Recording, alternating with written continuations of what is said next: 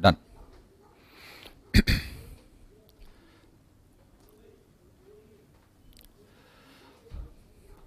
Good evening, dear students. Good evening to everyone. Very good evening to all of you. Welcome to GATE Through Questions. Hope you are uh, busy now with your preparation, right?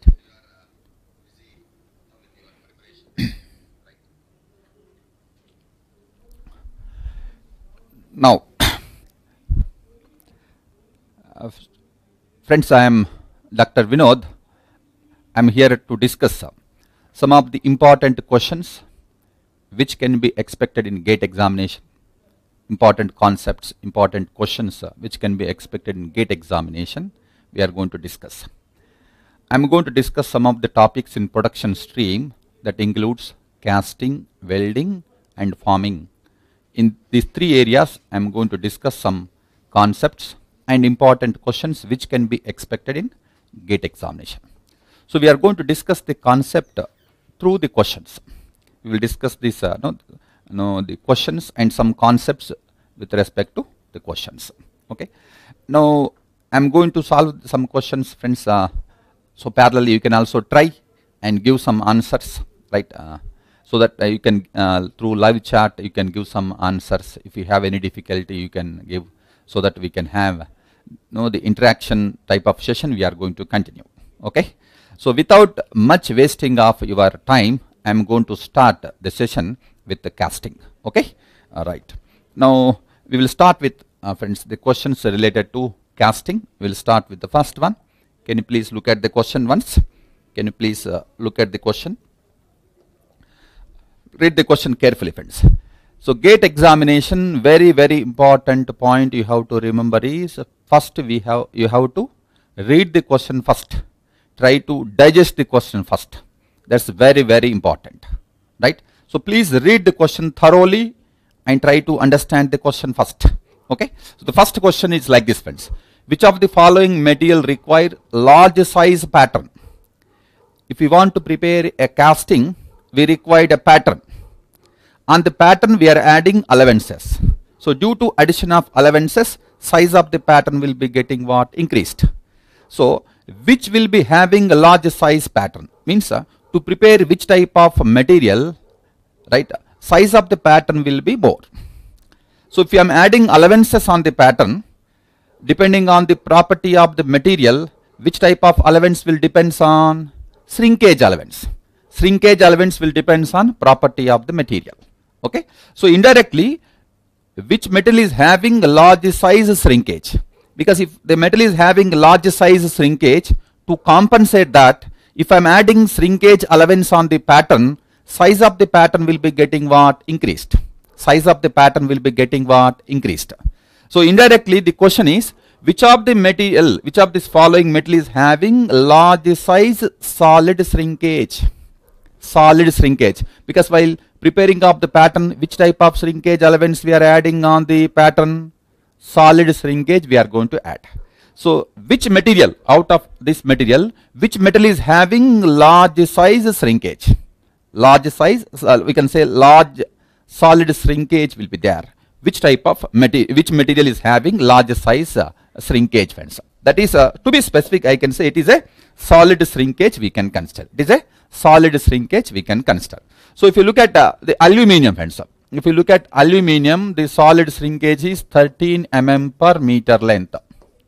So there is no need to remember these values because whenever the problem is given friends these values will be given with respect to numericals but here which metal is having more shrinkage which metal is having less shrinkage if you are able to identify then the problem is uh, easy. So for understanding of easy I am writing here aluminum is having 13 mm per meter length of shrinkage. Cast iron is having the shrinkage of 10 mm per meter length. This is a solid shrinkage. Solid shrinkage will be always added for linear dimensions right 10 mm per meter length we are expressing in terms of linear dimensions mm per meter length so cast iron 10 mm next one is uh, steel if you consider steel is having 20 mm per meter length. 20 mm per meter length. Then if you consider the brass, brass is having 15 mm per meter length. 15 mm per meter length. Like this we have different values for different materials. This is about solid shrinkage values which will be added on the pattern. Okay. Now, uh, out of all these values which will be having more shrinkage, 20 mm per meter length, steel is having more shrinkage, right? So, out of this material friends, I can say steel is uh, having maximum shrinkage. If I'm adding maximum uh, no, uh, shrinkage allowance on the pattern, size of the pattern will be more. For which material? Steel material size of the pattern will be more. Out of these materials friends, out of these four options, which metal is having large size pattern? Steel is having large size pattern. Okay. So this is the concept you can do. So with respect to this concept friends, I like to add another two points you can look at friends. If you look at the cooling curve, cooling curve, this is for pure metal. I am talking friends, pure metal, the cooling curve is like this. I am going to fill the liquid metal into the cavity at pouring temperature this diagram will be with respect to temperature versus time graph. I am going to fill the liquid metal into the cavity at pouring temperature. We are cooling the liquid metal from pouring temperature to freezing or melting temperature. Both will be same for pure metal. Melting and we can say freezing temperature both will be same. So from here to here I can say if uh, if I look at friends here this is a A and this is a B. A to B is what? Liquid state B to C, liquid metal will start solidification at point B and it will end solidification at point C. B to C is a phase transformation state. A to B is what? Liquid state. At point C, liquid is converted into solid form. We are cooling the solid casting from C to D. That is freezing to ambient temperature we are cooling. Freezing to ambient temperature we are cooling the solid casting C to D. So A to B in liquid state the amount of shrinkage is called liquid shrinkage. A to B the amount of shrinkage in liquid state is called liquid shrinkage. During phase transformation the shrinkage is known as solidification shrinkage. Solidification shrinkage. After converting into solid form at point C if I am cooling the solid casting in solid state from freezing to ambient temperature the shrinkage is solid shrinkage. So totally three types of shrinkages will be there. Liquid shrinkage, solidification shrinkage, third one is solid shrinkage. So solid shrinkage can be compensated by providing what? Shrinkage allowance on the pattern. This liquid and solidification shrinkage both can be compensated by providing what? Riser. Both can be compensated by providing riser. I am repeating, can you please listen carefully? A to B is liquid shrinkage, B to C solidification shrinkage. These two shrinkages can be compensated by providing riser. Riser will be acting as a reservoir of the molten liquid metal. C to D is a solid shrinkage which can be compensated by providing shrinkage allowance on the pattern. Okay, so these are the three types of shrinkages we can consider. Now with respect to this cooling curve, we can have one more point also. Please look at friends here. What is that? Solidification time. So if I fill the metal into the cavity, the time taken to convert liquid into solid form is called solidification time. The time taken to convert liquid into solid form is called what? Solidification time. So there are two solidification times you can observe from this particular uh, cooling curve. What is that? Local solidification time. Second one is a total solidification time. So what is the difference you can observe friends here? What is the difference you can observe? So if I you know start filling up this metal. If I cool this metal from pouring to, we can say freezing temperature, at point B, freezing temperature, liquid metal will start solidification, right? So, uh, strictly speaking, strictly speaking, the solidification time is local solidification time. The time at which the, liquid metal will start solidification and it will uh, end the solidification at point C. B to C, that time is called local solidification time. Strictly speaking, this is exact uh, solidification time. But if I fill the metal into the cavity, it may be difficult to identify where exactly liquid metal will start solidification. At which temperature, at which time the liquid metal will start solidification, it may be difficult to you know, find. That's why what we are finding, total solidification we are going to calculate. Means if I fill the metal into the cavity, if I fill the metal into the cavity, after complete filling up this metal into the cavity, then I will count for solidification time. At which temperature? Pouring temperature. By the time if I am filling the metal into the cavity, right, after complete filling up this metal into the cavity, then I will stop pouring up this metal into the cavity, then I will start counting up the time for solidification. Okay, so that time is called the total solidification time. That is from pouring temperature to you know, the freezing, uh, completion of the freezing time. If you consider this uh, time, we will consider as what total solidification time. So in problems also we are calculating friends uh, solidification time. So nothing is mentioned means by default it is a total solidification time. So in problems, they are mentioning it is a total solidification time. Even if they are not mentioning also, whatever the time we are calculating is called solidification. That is total solidification time. So you can observe friends, total solidification time, local solidification time. During phase transformation, there is no temperature change. Temperature will remains constant for a pure metal. This is called thermal arrest. It is called thermal arrest. It is a cooling curve. I am repeating, it is for pure metal. It is for pure metal you can consider. Okay. So this is uh, with respect to shrinkage. Questions are coming with respect to this one friends. From which temperature to which temperature it is liquid shrinkage, which temperature to which temperature it is solid shrinkage. This type of questions will be coming. And one question already we have discussed with respect to pattern size. Okay na? that's one. Then we move on to the next question. Please look at here. With respect to, right, uh, most of them are uh, asking friends in uh, different uh, now test series uh, different uh, answers are given for this type of questions. So to clarify all your doubts, I have taken up this particular question.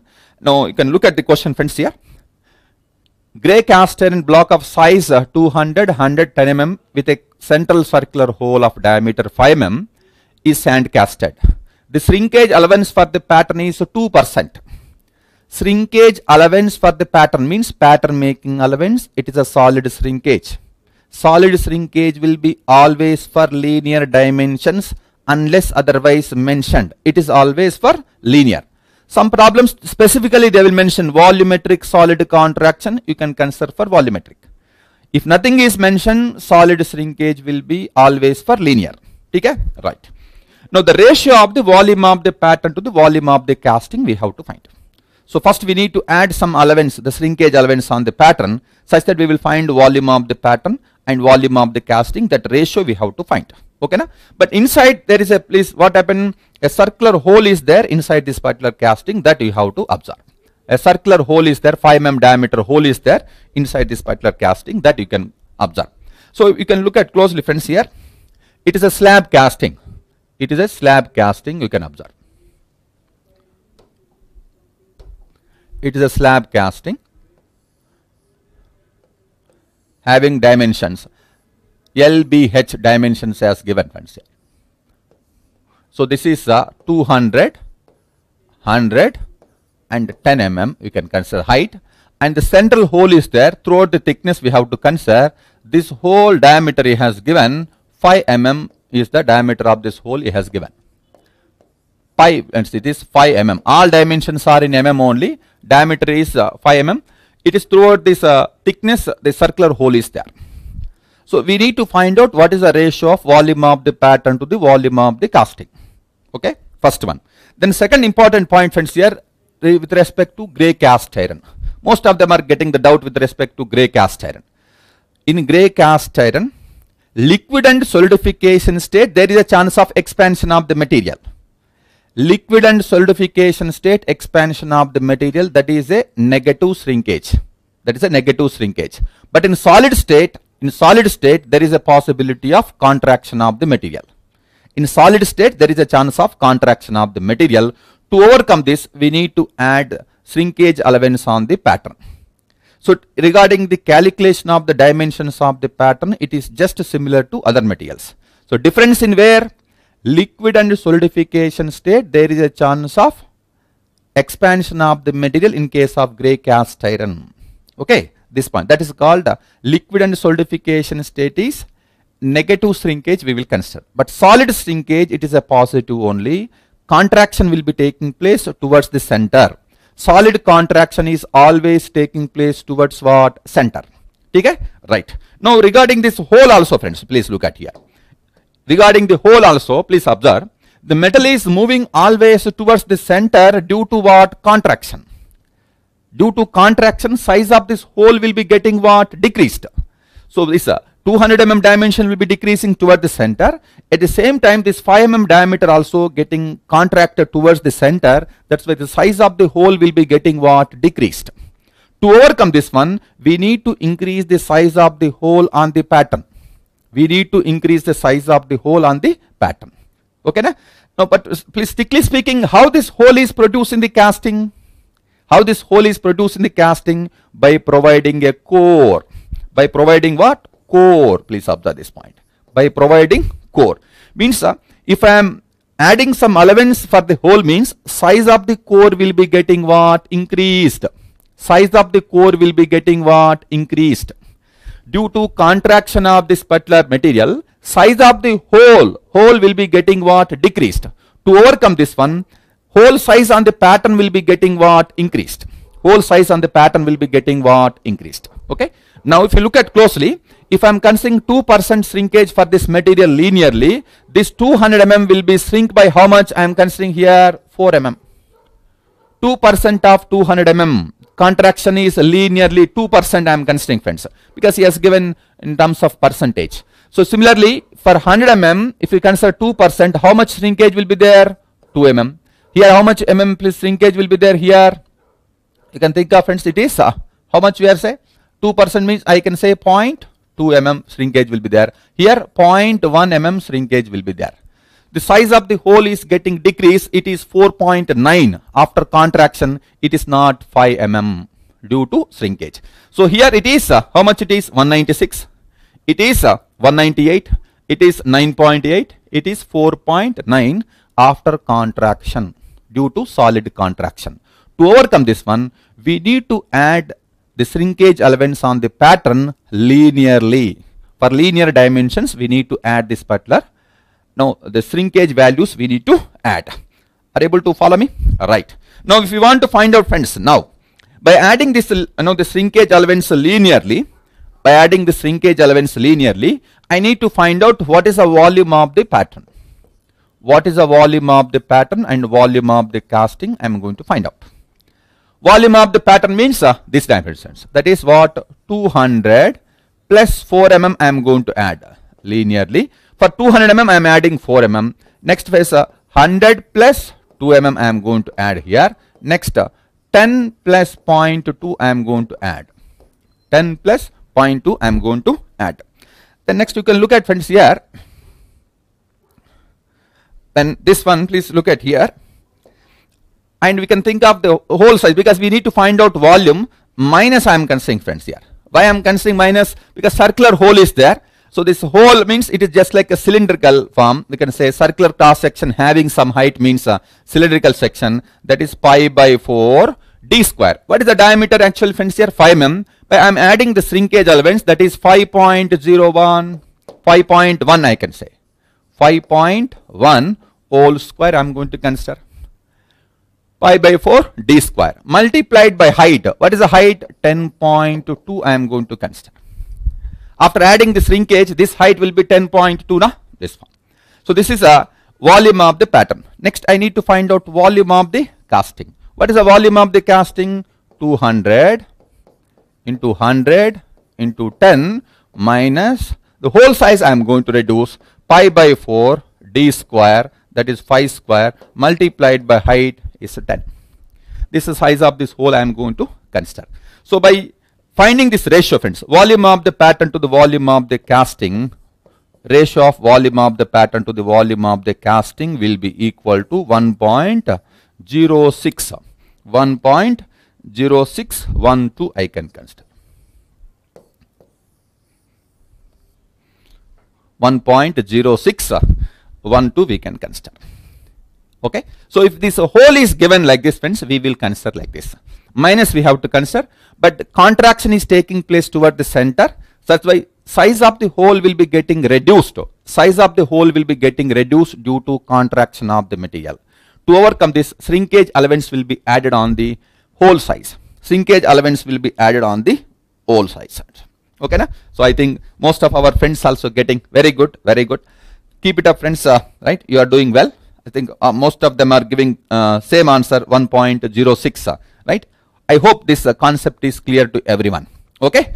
So if this concept is clear to everyone, then we will move to the next question. Okay. Right. Good. So keep on working, friends. Uh, so that if you have any doubts, we can clarify here. Okay. Right. Very good. Right. Now please look at friends here this question. You can look at it is with respect to now the core core concept concept of the core buoyancy force core print area chaplet area with respect to that the concept is there. So a 100 mm square hole is to be produced in a casting of length 300 mm. The density of the core metal used is 4.5 grams per cc and density of the molten metal used is 8.9 grams per cc grams per centimeter cube.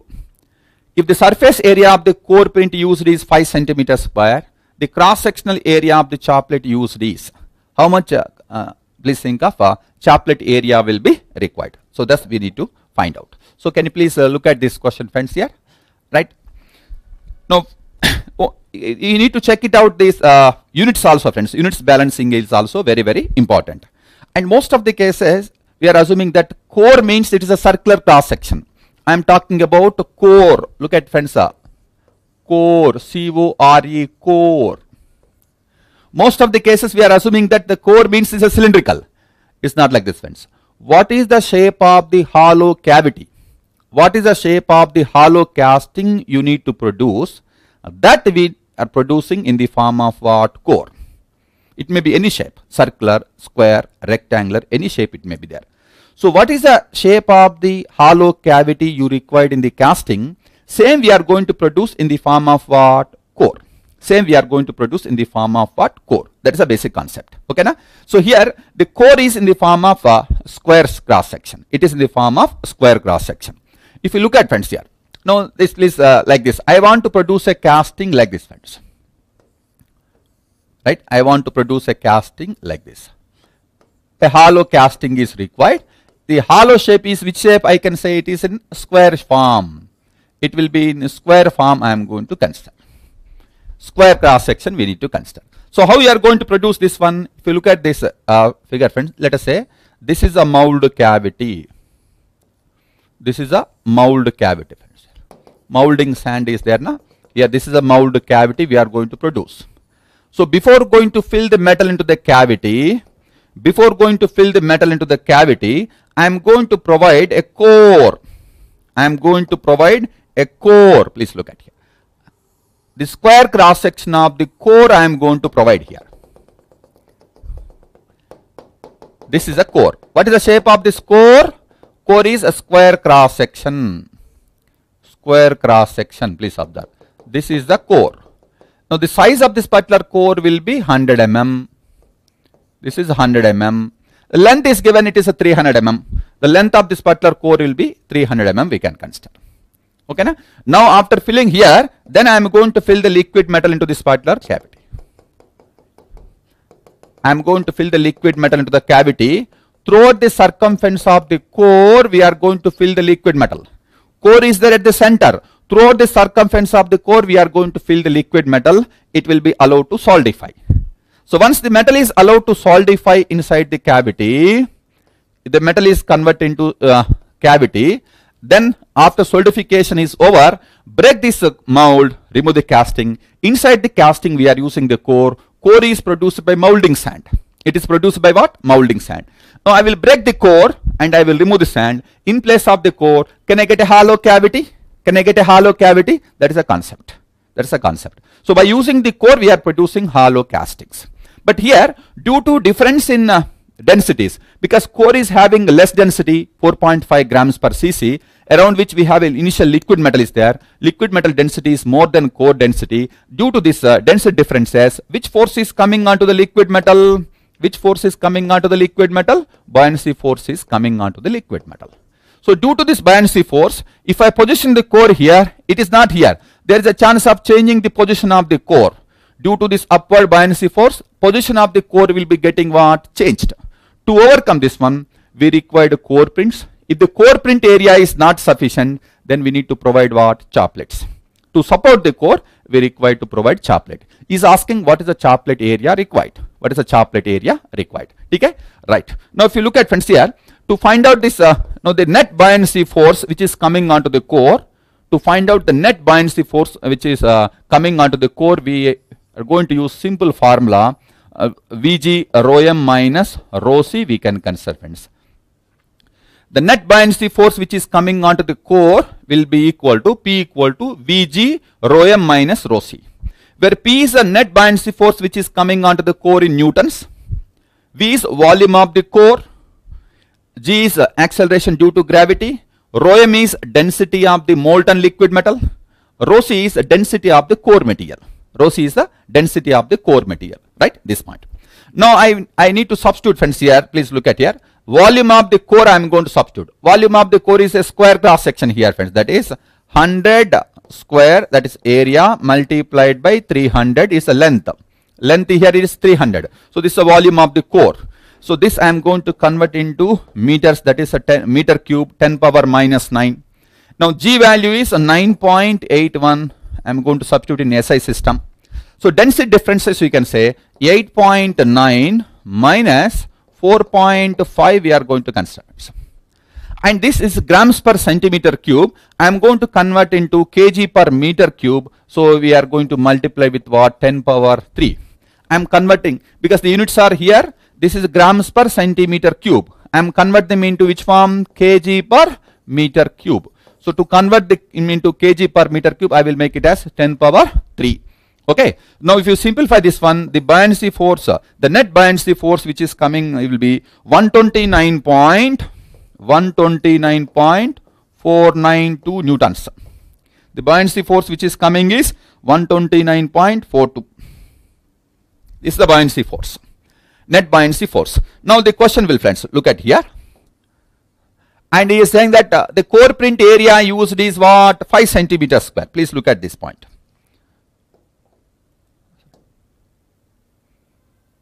Alright, now I am going to slightly move upward friends. Now look at here. Now this is the buoyancy force friends. Generally to find out the core print area we are using the formula friends P is less than or equal to 3.5 times AC where AC is the core print area. AC is the core print area in centimeter square. P is in newtons. So this 3.5 is a, a constant which will be having units of newton per centimeter square. Okay. So from here if you want to find out AC by equating this one friends P by 3.5 if I am considering friends here. This P is uh, 129.492 divided by 3.5 if you look at we are getting friends uh, the core print area we are getting is approximately 37 centimeter square. So to completely overcome this uh, buoyancy force to completely support this particular the Uh, upward load which is coming 129.49 how much core print area is required to support this one? Core print area required will be 37 centimeter square is required. But how much is saying friends here? In the problem he has mentioned clearly that how much this value is saying friends here? It is 5 centimeter square only. Core print area. If the surface area of the core print used is 5 centimeter square only is saying. Okay? 5 centimeter square only. But how much is required? 37 centimeter square is required. So the difference of the force can be balanced by what? By providing what? Chaplets. In this particular another force, only some portion of this force will be overcome by uh, supported by providing what? Core print. The remaining unbalanced force can be supported by providing what? Chaplet. Chaplet. Okay, na? This one. Actually, how much uh, core print area is required to overcome this force? 37 centimeter square is required but theoretically speaking friends uh, actually how much we are providing? 5 centimeter square only. Because the question is mentioned this uh, core print area is 5 centimeter square only. So that remaining unbalanced force will be supported by providing what? Chaplet. So that chaplet area we need to find out. That chaplet area we need to find out. Right? This one. So to find out this one friends here i am going to use simple formula. Unbalanced force. Unbalanced force or unbalanced load will be equal to P minus 3.5 times AC that is uh, core print area. It is let us say friends here it is actual I am saying. This is uh, theoretical you can observe. This AC will be what theoretical I can consider. T means theoretical. From the formula we are getting. But actually how much you are providing on this one? It is actual. A means actual. How much you are providing? 5 only. So how much this uh, difference of force I can consider? 129.492 minus 3 into, please think of how much? Sorry, 3.5 now. 3.5. One minute. 3.5 times AC actual we can consider. So this is 3.5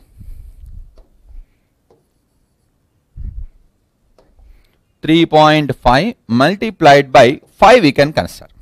5 is the actual area which is given the problem. So if you are cutting fence this one, how much you are getting this value? Triple one, triple one, double nine, two newtons we are going to get. So this is the unbalanced force because you are not providing sufficient area of the core print. So to overcome this one, we need to provide what? Chaplet. We need to provide chaplet. So you can remember this point friends here. For every 1 Newton of, for every 1 Newton of unbalanced force, for every 1 Newton of unbalanced, un, no, balanced force, we need to provide 29 mm square of chaplet area. 29 mm square of chaplet area will be required. For every 1 Newton of 29 mm square, how much chaplet area will be required friends? For every 1 Newton, 29 mm square of chaplet area will be required to support. That unbalanced force will be supported by what? Chaplet. So here, what is the unbalanced force friends here? This one is the unbalanced force multiplied by 29 mm square will gives what? The chaplet area required. Okay. So the chaplet area will be equal to chaplet area required will be equal to we can think of friends uh, double nine two multiplied by 29 this is the chaplet area required. This will be in mm square we can consider. So how much friends uh, 3247 3247 point point uh, 768 768 mm square is the chaplet area required. So this you can convert them into right centimeter square I can say. This is uh, 32.47 centimeter square is the chaplet area required. So how much chaplet area will be required here? 32.47 centimeter square chaplet area is required for every 1 Newton of unbalanced force 29 mm square of chaplet area will be required. So this is an unbalanced force. The chaplet area required will be equal to this is 29 multiplied by this unbalanced force. This is in mm square. You can convert into centimeter square. Now sometimes uh, you are getting some doubt friends here. For example, here in this particular formula 3.5 AC I am you know because in the problem they have mentioned 5 in place of the 5 the theoretical you know this area what you are getting from this formula I am putting 37 if I am putting 3.5 multiplied by 37 what is unbalanced force unbalanced force will be 0 if unbalanced force will be 0 there is no need of what chaplet if there is no need of chaplet if the unbalanced force will be 0 there is no need of chaplet core prints will be sufficient to support the core. Core prints will be sufficient to support the core. If the core print is not sufficient to support the core, then we need to provide what? Chaplets. Then we need to provide what? Chaplets. Okay. So if this area friends, if this area what you are getting here will be 37, then there is no need of chaplet. But here, what is the chaplet area? What is the core print area he has given the problem? It is 5 centimeter square only. 5 centimeter square only. That's why the problem is coming. So to overcome this one, we are providing what? Chaplet area we are going to provide. Okay. Now this point you can please uh, remember this point friends here, right? This one. This is a basic concept related to what? Core prints and chaplets. These are used to support the core inside the cavity.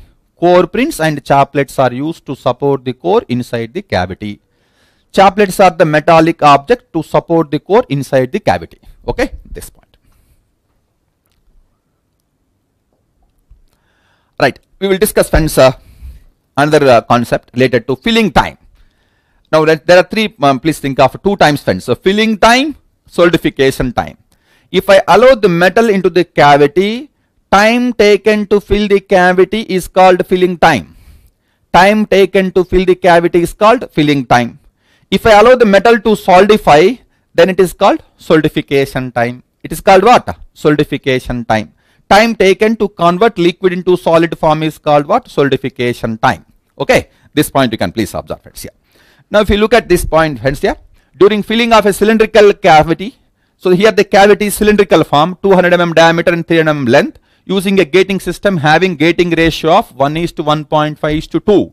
It is an unpressurized gating system. Right. And height of this molten metal above the gate is 250 mm. HT is 250 mm. The time taken to fill the cavity is 25 seconds. Then determine the diameter of the sprue at the bottom to avoid air aspiration effect diameter of the sprue at the bottom is asking means indirectly gate area is asking if the gate area will be equal to sprue area gate area will be equal to sprue area. By default what type of gating system? It's a top gating system. It's a top gating system. Okay na? In unpressurized gating system where is a choke area? At the bottom of the sprue. Choke area will control the flow of the metal. In unpressurized or pressurized gating system choke area will control the flow of the metal. In unpressurized gating system, where is the choke area? Choke area will be at the bottom of the sprue. That bottom of the sprue area we have to find. That bottom of the sprue area we have to find. Okay, this point you can observe. And please look at friends here. One point you have to remember is uh, what is the shape of the cavity we can consider? Shape of the cavity will be cylindrical form we can consider. Please observe this point. It is a cylindrical form of the cavity. Right, please observe this point. Uh, how much length this one? it is a 200 mm diameter and length is how much 300 mm length we can consider okay? Now i am going to use think of it's a top gating system i am going to use here. Sir maybe getting doubt. Sir why you are using top gating system? Because he is asking to find out the bottom sprue area friends here. He is asking to find out bottom sprue area. That is HT will be equal to 250 mm here as given. Right? Because here this area is asking friends. Area of the sprue at the bottom. This area this area will be same area of the sprue so if you look at if area of the sprue equal to area of the gate then by default what type of gating system top gating system if the area of the sprue will be equal to area of the gate if I am considering then by default it is a top gating system in unpressurized gating system, as per this gating ratio, unpressurized gating system, choke area will be at the bottom of the sprue. That will control the flow. That area we are going to find out. Okay, now this one. Now, if you want to find out by using top gating system, filling time equal to volume of the cavity by area of the gate or area of the sprue. I am going to find out. This is root over 2g ht. I am going to find out. So here we need to find out area of the sprue or area of the gate because it's a top gating system okay right then if you want to find out friends filling time he has given it is 25 seconds volume is pi by 4 d square diameter will be how much? 200 mm whole square. Into please look at friends. Here height is 300 area we need to find out now. Area of the sprue. Root over 2 g 9810 ht is given this is a 250 I am substituting in all the units are in mm friends. G value m please mm per second square I am going to substitute here. From here I am going to find out area of the sprue area of the sprue I am going to find out. Here the area of the sprue is how much please tell me? Area of the sprue we are getting is 170 point 170.134 mm square is the area. Now, if you want to find out diameter, friends, he is asking about determine diameter, no? So, area of the sprue equal to pi by 4, diameter of the sprue square will be equal to 170.134. So, from here we are going to find out diameter of this sprue, diameter of the sprue will be equal to 14.72. Please check it, the answer is correct or not. 14.72 mm diameter of the sprue will be equal to 14.72 mm. Please check it friends, you are getting same answer or not?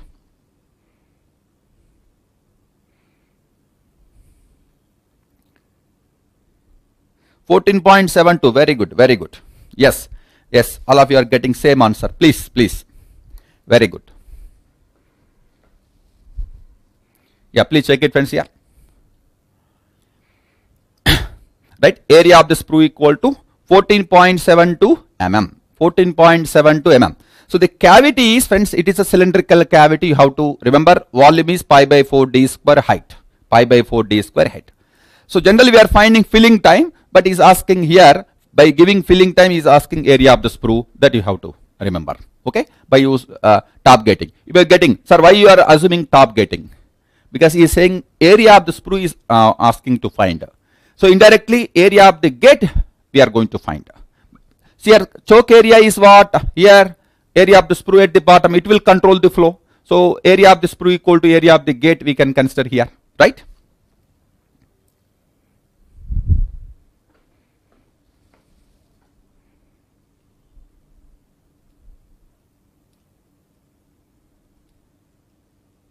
So that yes, uh, some of them are asking the question. In previous question, uh, yeah, in previous question, this how this 29 mm, it is empirical formula, friends. It is empirical experimental value. In previous question, this 29 mm square. For every 1 Newton of unbalanced force, the chaplet area required is 29 mm square. It is a empirical equation. It is a, by experiments. Uh, by conducting experiments, they have given this value. We have to consider this value as a constant. It is an empirical equation by conducting experiments. This you have to remember, right? So this is there, friends. In even textbooks also you can refer. This will be there. Okay. For every one Newton of balance, uh, unbalanced force, 29 mm square is required. It is a experimental data. Okay. Right. Now this is over, friends. And then we will move to the next question. Please look at here. This is interesting, friends. Please look at. Now two figures are given friends. Figure A, it is a bottom gating. Figure B is a top gating. It is a top gating, it is a bottom gating. HM equal to H. So please observe here. HM is, uh, yes, slightly modify, uh, change this notation. HM equal to HT, pouring height, yes given. H is the height of this mold cavity. HM equal to H means HT equal to HM in this particular problem. Both of the below cases and the time required to fill the mold in bottom gating arrangement is 20 minute. Bottom gating arrangement, what is the time? 20 minute. Then time required to fill mold cavity by using figure B means it is a top, uh, top gating system. What is the time we have to find out? I think most of them are knowing this particular one. I think friends please uh, try this question. Please try this question. I think we have given friends one condition. If, if HM equal to HT Generally, we are discussing this one. HM equal to HT in our notation. HM is height of this mold cavity. HT is a height, pouring height of the liquid metal. In this problem, in this problem, what is this one? HM equal to H. Please think of it. Height of this mold cavity is what? Capital H. What is the pouring height? HM. What is the pouring height? HM. Both are same, na? They are same. So notations, they are slightly different, friends. We are assuming HM equal to HT. Here H equal to HM. Okay, na? This, the notations are just changing. If this is the case, we know that friends, are time taken to fill by using bottom gating system, time taken to fill by using bottom gating system equal to time taken to fill by using what? Top gating system. Top gating system. I can say bottom, B I will write friends here. TFB means bottom. If HM equal to HT, time taken to fill by using bottom gating system is so 2 times of time taken to fill by using top gating system. So bottom gating system time is given 20 minute here. Top gating system time we need to find out this one. Top gating system time he is asking. So cavity B means what? It is a top gating system. You can observe this figure where the sprue area will be gate area. Liquid metal is directly enter into the cavity from the bottom of the sprue. It is a top gating. Here liquid metal is coming from this bottom of the sprue through the runner, through the gate it is entered into the cavity. It is a bottom gating system. It is a bottom gating system. Bottom gating system how much time? 20 minute. Then the time required to fill the mold in top gate. This is asking here. So time required to fill by using top gating system is how much? Now you can think of 20 by 2. It will be equal to 10 minutes. 10 minutes. So the notations friends please uh, slightly modified here this problem you have to observe. HM is height of this mold cavity, H is pouring height. So in this problem, pouring height is HM, height of this mold cavity H, both are same, then this is the condition. I think uh, you are getting this time frames very good. The time required to fill the cavity is how much? 10 minutes. It is a very, very simple formula. Without using the calculator, within a fraction of time you have to solve this particular question because conditions are clearly mentioned. Okay, na? Right. So this type of questions are coming in gate examination. You have to do very, very quickly and save the time. This time you have to use for little bit, you know, lengthy questions. Okay, right. Right, you can think of friends here. This is a, another good question. Please look at here. In a sand casting process, if the solidification time is to be one third for a given unit volume of the material, volume of the metal is constant unit volume, solidification time is reduced to one third, then the corresponding increase in casting area. If the solidification time is, uh, uh, decreasing, what happen? Please think of friends here. Percentage corresponding percentage increase in casting area. Please think of here. Right? So if you look at closely friends here the solidification time and surface area they are inversely proportional. We know that according to Chvorinov's principle friends solidification time is directly proportional to volume to surface area square. Solidification time and this is surface area. A is surface area. Both are inversely proportional. Both are inversely proportional. Please look at this point. Okay? Inversely proportional. So if this uh, solidification time is uh, reduced here then what is the percentage increase in area please you need to think of. So if you look at friends here if i consider ts1 by ts2 i am going to consider friends so two cases i am going to consider so initial volume this is uh, volume is unit volume only 1 by a1 whole square 1 by 1 by a2 whole square we can consider so two cases I am going to consider. TS1 by TS2, 1 by A1, 1 by A2 okay. V is a unit volume, volume is constant we are going to put. Okay. Now what is happening friends here? Let us say TS1, time is uh, 1 minute I am considering. The next one it will be reduced to what? One third. Second case is the time is reduced to one third friends here. Then it is please think of here what is happening. This is A2 by A2 by A1 whole square. So what is happening friends now a2 by a1 a2 by a1 will be equal to under root 3 under root 3 we can consider okay this one. Now percentage increase in area friends. Here so percentage increase in area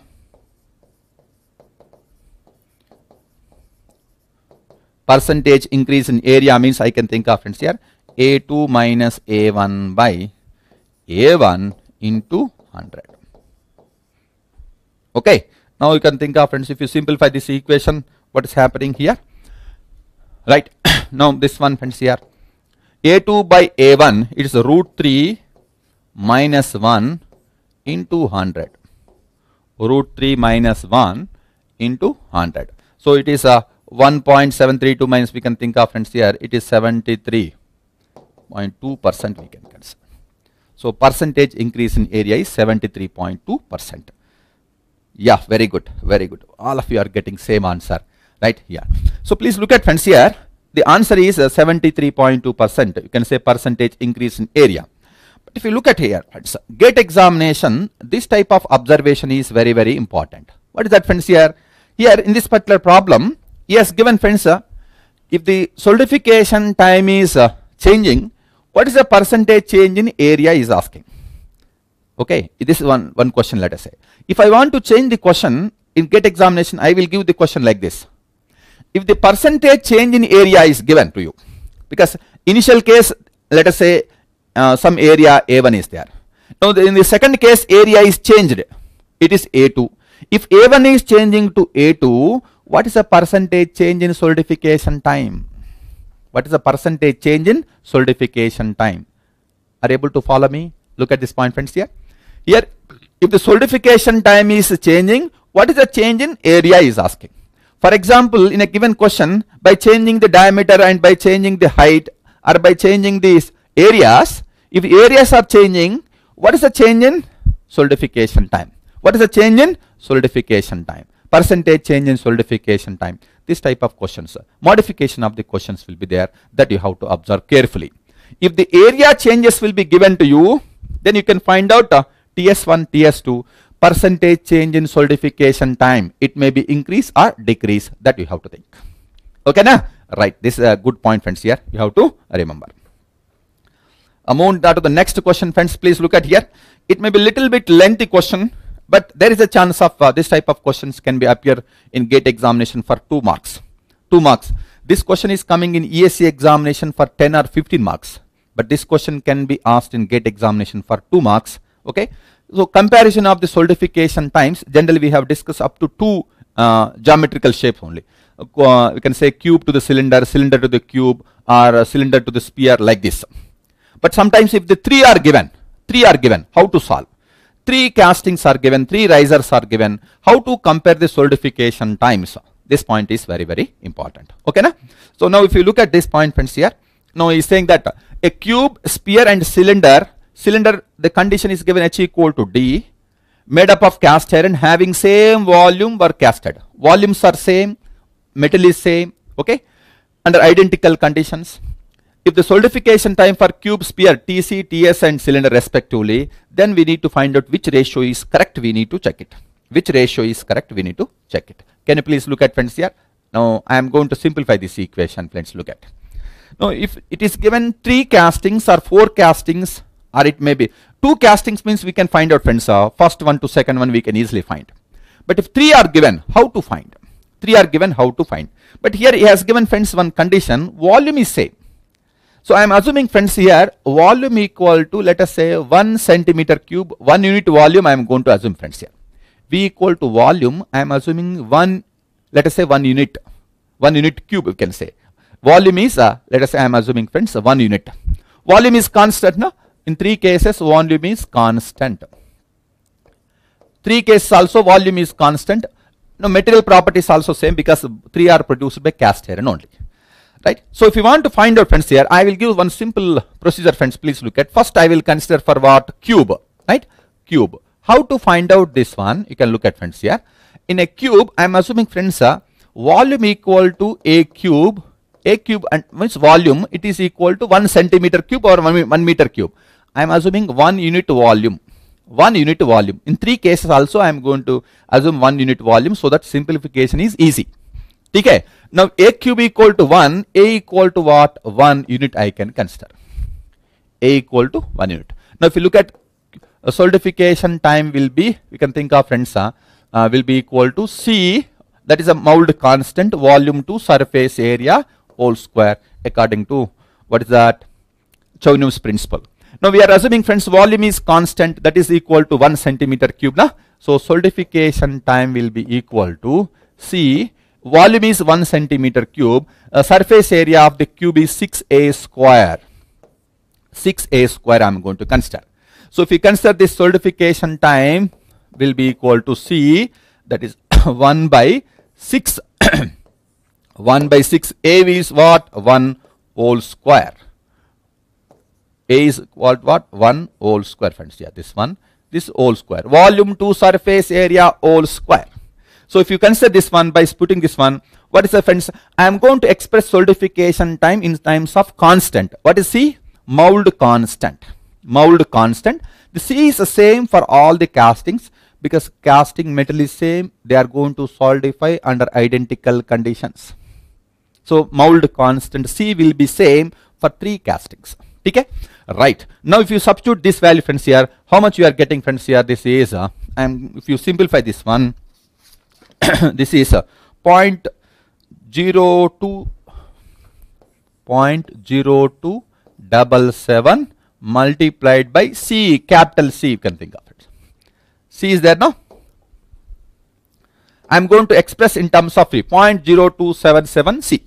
Similarly for sphere and cylinder also we are going to express and you can compare in three cases also C is same okay you can compare this particular solidification time. Now if you look at friends, uh, second one is what? Sphere. Right. So for sphere also friends, I am going to write volume equal to 4 by 3 pi r cube will be equal to 1 unit volume.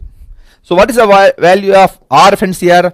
One you think of friends 3 by 4 pi whole power 1 by 3 I am going to write.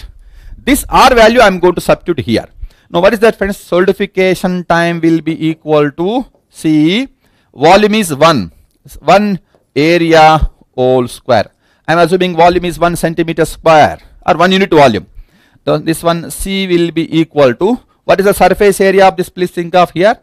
Cube uh, surface area of the sphere is 4 pi r square. 4 pi. What is the value of r? r is uh, 3 by 4 pi. Please think of 2 by 3. Why 2 by 3? Already square is no. It's 4 pi r square by this is 3 and it is all square. This is very very important. It is all whole square is there. If you simplify this one friends here, this you are going to get is 0.04 0.0431 0431 times of C. 0.0431 times of C. This is 0.0277 times of C. C is a mold constant which is a constant for a given material. Okay? Right. Now this one please think of if you look at similarly I am going to find out for what? Cylinder. This is for cylinder. So cylinder cylinder also you can consider friends. I am going to find out for cylinder. What is the volume? Pi by 4 d square h will be equal to 1 in the problem he has mentioned h equal to d. h equal to d. So here friends uh, I can say h equal to d equal to this um, what we are getting friends here volume equal to pi by 4 d cube. Pi by 4 d cube. So d equal to 4 by pi whole power 1 by 3 ठीक है ना so v equal to pi by 4 d cube equal to 1 d equal to 4 by pi whole power 1 by 3 so solidification time will be equal to c volume to surface area whole square volume is 1 unit volume c constant it is 1 surface area now friends here it is a casting total surface area we have to consider 2 times pi by 4 d square plus pi dh pi dh whole square. 2 times pi by 4 d square plus pi dh whole square. Okay? Now i am going to substitute h equal to d in this particular equation. h equal to d i am going to substitute in this particular equation. Okay? If you substitute h equal to d what is that you are getting? C is 1 by 3 by 2 pi d square whole square. Because for a cylinder he has given h equal to d condition is given h equal to d. Now i am going to substitute uh, d equal to 4 by pi. 3 by 2 pi square right. C equal to 1 by 3 by 2 pi. D square is 4 by pi whole power 2 by 3 2 by 3 whole square. Now if you simplify this equation friends you are getting now 0.03 0.03259 3259 times of C. Right. Now I am going to find if you want to compare friends here please uh, compare this one very easily. I can write down here. Solidification time of what? Cube. Solidification time of the sphere. Solidification time of the cylinder. I am going to compare. Okay. What is this one friends? Here we are getting 0.0277 see all the cases same na? C will be uh, I am cancelling. This is a point zero.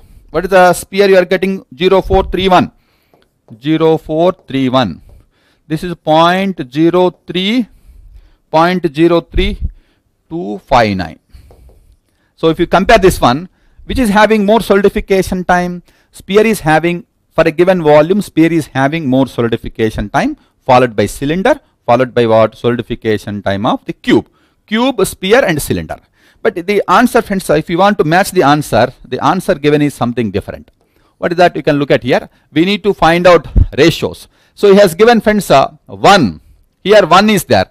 So if you look at for example if you are getting uh, sphere is 1 if you divided this uh, value by the sphere value if you are dividing friends then you are going to get the first answer you are going to get. This answer you are going to get. Please check it. 0.651 0.76 if you look at here if I am uh, dividing friends here because he is asking to compare here. So if you divide because uh, the sphere uh, solidification time is given 1. So if you divided this by this 0.027 divided by 0.431 if you are dividing this one then you are going to get this value friends here. How much you get? 0.65 0.65 1 I am going to divide the total equation by 0.0431 to match this particular one so point uh, this one friends how much you are getting this value? 0.76 0.76 so this will be the answer. Answer you are getting is option A. What is the answer you are getting? Option A. Yes. Please uh, check it friends here. You are going to get the option here is what? A. And sometimes friends if you want to compare the solidification time I will compare like this. Solidification time of the sphere will be greater than solidification time of the cylinder will be greater than solidification time of what? Cube. Can I compare like this? Yes or no? This is we can think of friends increasing because sphere is more than cylinder cylinder is more than what? Cube. I can say it is a cube right? Cube. Cube. Okay this one. So cube is having less uh, please think of uh, which one less solidification time. Sphere is having more solidification time. It will take more time. Okay? Sphere cylinder cube like this I can compare. So they may ask the question like this or they may ask the question like this. Okay? Please check it friends here. Please check it. It's a good question right? It may be given any shape friends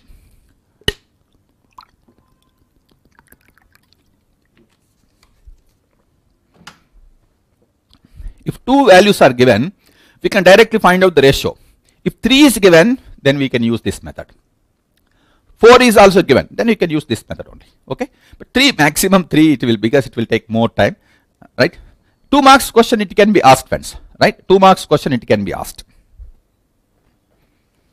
Yes any? Good question very good very good. Yeah. Yeah yeah very good very good. Yes Nishant. Nishant Singh is saying good question. Yes is a good question. Very good friends. Please try. Please try this question. Yeah. Is with respect to riser design. Uh, calculate the dimensions of cylindrical side riser h equal to d by 2 to produce a casting of dimensions, the solidification time for the riser is 25% greater than the casting. Use which one? Chvorinov's principle. You can use Chvorinov's principle. And you can observe friends here, the very important point here is, is saying that dimensions of the cylindrical side riser, but the condition given is h equal to d by 2. Side riser, what is the optimum condition? h equal to d. Top riser, what is the optimum condition? h equal to d by 2 this optimum condition is required to get minimum surface area to get minimum surface area or to get maximum solidification time to get maximum solidification time or to get minimum surface area. Okay this one. Please uh, try to think of this particular question friends here. Now if you look at this one right? So means here he has given it is a side riser but the condition given is h equal to d by 2 means it is not a optimum riser. If optimum riser means by default it is h equal to d only. If you mention in the problem if it is optimum riser by default it is h equal to d. If it is not mentioned means uh, then we can think of friends uh, it's not a optimum riser. What is the condition is given? That condition we have to substitute. That condition we have to substitute. There is no option. Okay? Right. Now we can think of friends here. This question I will make it here very simple way. Now direct one step friends here. You can think of like this. Solidification time of now you can think of what? Riser will be equal to 1.25 times of solidification time of the casting. Cast, C means casting, R means riser. So riser solidification time will be more than casting. That's the condition. Okay. So according to Chvorinov's principle, what is the solidification time? Volume to surface area whole square for a riser. 1.25 times of volume to surface area whole square for what? Casting. Now the mould constant, both the cases will be same. You can cancel it. You can cancel the mould constant because casting material, riser material, both will be same you can cancel the mould constant okay now volume to surface area of the riser What type of riser? Side riser. Side riser means the total surface area we have to consider. So this is a cavity. We are providing the riser to the side of the cavity. We are providing the riser to the side of the cavity. Means uh, total surface area we have to consider. So volume is pi by 4 d square h. Surface area is a total surface area 2 times pi by 4 d square plus pi d h. I am going to consider this whole square. This 1.25 times of volume to surface area of what? Casting I have to find out.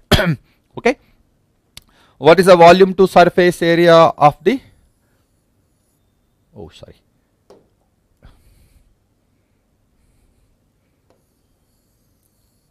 Yeah. Now please look at friends. Volume to surface area of the casting we have to find out. That is uh, 50, 25, 15 by 2 times of 50 into 25 plus 25 into 15 plus 15 into 50. It is whole square. Whole square. So we need to find out here. Simplification.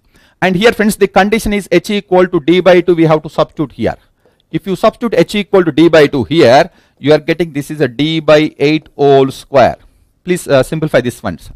In this one if you substitute h equal to d by 2 you are getting d by 8 whole square.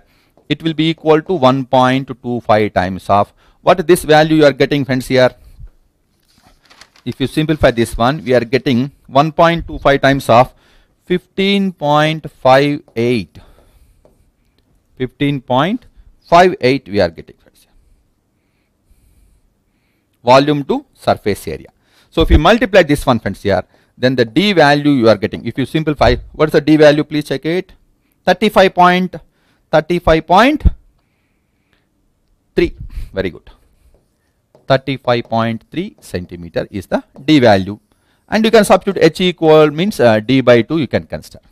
H equal to d by 2 simple question friends. This is a simple question but you have to remember it is not a optimum side riser if it is optimum side riser h equal to d if you substitute h equal to d here you are getting d by 6 I am going to substitute h equal to d by 2 sir why you are substituting h equal to d by 2 because the condition given is h equal to d by 2 it is not a optimum side riser if you substitute this one, we are getting d by 8 whole d by 8 whole square, then you can simplify. Okay. So this is simple question, friends. It is based on the Chvorinov's principle riser design he has given. Yeah, you can think of this question, friends. Here. Now this type of questions are uh, common in gate examination. If you look at here, a cylindrical side riser h equal to d. Yes, clearly mentioned side riser h equal to d means it is optimum side riser is used to produce a slab casting of dimensions. Total solidification time, please remember first, uh, no, the beginning of the class we have discussed. Total solidification time, don't get confused. Solidification time or solidif uh, total solidification time दोनों same रहेगा ठीक है so solidification time total solidification time both will be same right and uh, it is uh, for casting it is 1.6 for riser it is 2 minute then he is asking what is the dimensions of the riser okay now if you want to find out this type of questions friends here here also one step problem you can make it friends here just I am going to find out here solidification time of the casting to the solidification time of the riser will be equal to volume to surface area whole square for a casting volume to surface area whole square for a riser. Right? Now has given friends this is a 1.6 uh, this is a 2 it will be equal to volume to surface area of the casting.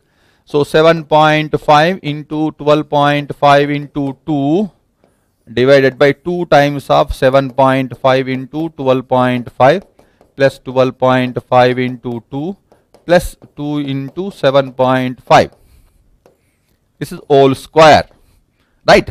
Divided by volume to surface area of the riser. So if you want friends I will write here volume to surface area. This is pi by 4 d square multiplied by height. Side riser 2 times pi by 4 d square plus pi dh. In this equation if I am substituting h equal to d by substituting h equal to d you are getting d by 6. So I am writing here this is a d by 6 whole square d by 6 whole square. If you simplify this one, I am going to get the d value here What is the D value we are getting here? Please look at. Yes, anybody is getting the answer? How much? What is the answer here? 4.7. Very good. 4.702 centimeter. Now, my dear friends, please look at here. One minute. Now, here in this question, please look at solidification time of the casting, solidification time of the riser, volume to surface area of the casting, volume to surface area of the riser. So, in this case, we are finding the dimensions of the riser, dimensions of the riser. Another gate examination, the question can be changed like this. How dimensions of the riser will be given, dimensions of the casting is given, solidification time of the casting is given, he may be asked to find out what solidification time of riser. See here, four, please think of uh, four uh, variables are there here. In these four variables, any three variables will be given to you. Can we find uh, the unknown fourth variable can be determined? Unknown fourth variable can be determined easily? Yes or no? Please observe. Here he is asking to find out dimensions of the riser. If the dimensions of the riser is given, can I find solidification time of the riser? If he is asking to find out solidification time of the riser, we can calculate solidification time of what? Riser. Or sometimes uh, solidification time of the riser is given, casting solidification time is given, you may be asking. So how the questions can be changed in gate examination, you have to observe. That's very, very important. Okay, na? Please, I think uh, you are getting the answer, friends. 4.702, it's correct answer, right? So we'll move to the next question, friends. And here also, most of them are getting the doubt here. So in centrifugal casting here, in G factor calculation, whether we have to consider outside diameter, inside diameter, most of them are getting the doubt. So we need to find out uh, the solution for this. A true centrifugal casting operation is used to produce a hollow casting of 25 centimeter outside and 22.5 inside diameter. Uh, the rotational speed required, we have to find G factor is 65. Okay, so is uh, please look at in this problem, friends. Uh, is has given G factor. What is G factor, friends? Here, G factor. Very simple way. G factor will be equal to. It is a ratio between centrifugal force to gravity force. Very very simple way. It is a ratio between centrifugal force to gravity force is the G factor. It is given friends here the constant it is 65 as given. It is a constant. Generally it is varying from 60 to 70 depending on the size of the casting and material to be used. Okay. So if you consider this one friends, if I consider the centrifugal force, I can say G factor. G factor will be equal to centrifugal force means mr omega square by gravity force is mg if you simplify this one, so what we can say, m, m will be getting cancelled. In place of air, r, I can put friends here, d by 2. Outside uh, diameter is d. Let us say inside diameter is what? Let us, you can put friends here, d naught. Inside diameter is what? di. Outside diameter is d naught. Okay. So this is a d naught by 2. g will be there already. And I can put omega is a 2 pi n by 60 whole square. 2 pi n by 60 whole square I will consider here friends. I am considering friends here d naught. Sir, why you are considering d naught? Please listen carefully. If nothing is mentioned, we are going to find out minimum rotational speed. Minimum rotational speed required such that centrifugal force will be always more than what gravity force minimum rotational speed required such that always centrifugal force will be dominating which force? Gravity force. Then only liquid metal is moving away from the center because of which force? Centrifugal force. If you are rotating this mold, due to centrifugal force, liquid metal is forced away from the center. It is forced away from the center. That's why always centrifugal force will be dominating the gravity force. For which what is the minimum speed we need to consider? So minimum speed will be at outside diameter minimum speed will be at outside diameter. If nothing is mentioned, it is always minimum speed. If they are asking mean speed, I will consider mean diameter. I will consider mean diameter. I will write down friends here. Minimum speed, n minimum speed. If nothing is given, n minimum speed. n minimum speed is at outside diameter. D naught is outside diameter. If they want to find out maximum speed, maximum speed, it will be at inside diameter. Now sometimes they are asking to find out mean speed. If the mean speed they are asking, it is a mean diameter I am going to find. Mean diameter I am going to find. D naught plus di by 2 I am going to consider. Mean means d naught plus di by 2. That is if you want to find out mean speed.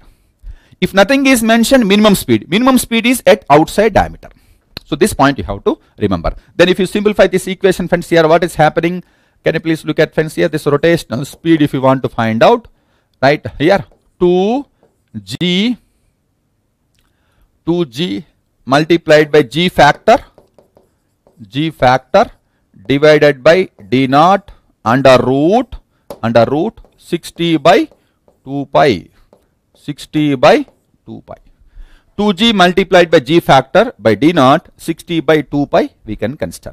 So the rotational speed will be equal to 2 g value 9.81 g factor is given 65 by d naught 0.25 we are going to consider under root multiplied by 60 by 2 pi we can consider. So from here what is the rotational speed? Anyone? 682 very good. 682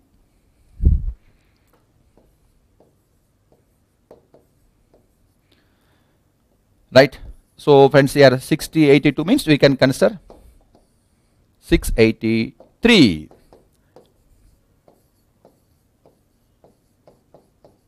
now anyhow they were going to give these values in the range.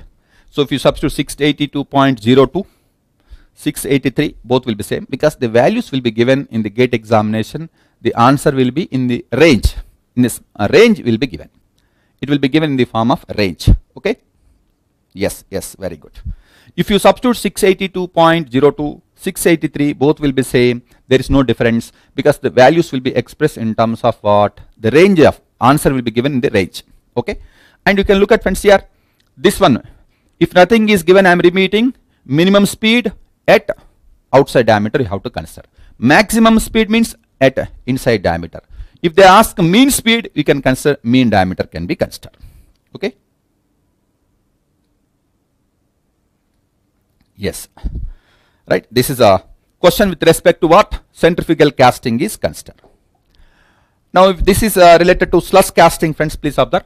In a slush casting process, if you want to thickness of object to be 10 mm, it takes 16 uh, seconds time.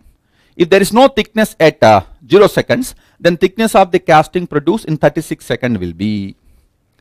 Right. Look at friends. Uh, this is a question with respect to slush casting if I consider TS1 will be 0 initially, so thickness 1 will be 0. If TS1 will be equal, uh, sorry, 2, TS2 will be equal to how much friends here? Uh, 16 seconds. T thickness will be how much we are getting? 10 mm. Then he is asking what? 36 seconds. Uh, after 36 seconds, what should be the thickness of the casting? We need to find out. It's simply a slush casting technique, friends. Let us say generally this is a die material, die. On this die we are filling the liquid metal. If I fill the liquid metal on this particular die, so liquid metal is getting solidified on this particular surface of the die. It will produce some thickness of the casting. At T equal to 0 means liquid metal has not allowed onto the die. What is the thickness of the casting? 0. At T uh, equal to 0, thickness will be 0 at solidification time of 0 seconds. Please think. If you allow the metal to solidify time is 0 thickness will be 0 only. So if ts3 equal 36 after 36 seconds what is the thickness? We need to find out. That is a question friends here. So we know that friends here uh, we can think of solidification time. Please uh, thickness will be equal to c1 under root solidification time plus c2 i think friends here T is the thickness, Ts is solidification time, C1 and C2 are the constants, which depends on properties of the liquid and die material, which depends on properties of the liquid and die material. Okay? Right. So very good. All of you are getting the answer. Right. It is a 15. Very good. Very good. Yes. Very good. Now if you substitute friends here, now thickness is 0, C1 under root of Ts, it is also 0 plus C2. So C2 will be equal to 0. Right? Now, here friends, uh, TS2, please look at TS2, we can think of it is a 10 C1 under root of 16 plus 0. Na? So what is the C1? What is the C1 you are getting friends here? 10 by 4 it is a 2.5 is a C1. Okay, it's a constant. So now the equation is a T C1 under root of uh, TS and uh, this place uh, C2 will be equal to 0. Okay, so this is the uh, we have to find out. Now you can think of friends a T3 will be equal to point, uh, sorry, this is a 2.5 under root of TS. Solidification time is 36. So this is how much you are getting 15 mm. 15 mm. Okay. So this is a uh, one question friends with respect to slush casting thickness. Please think of it is a solidification time. The relationship you can measure. Uh, C1, C2 are the constants you have to remember. Okay. Yes, all of you are getting 15 right correct answer. That is correct answer.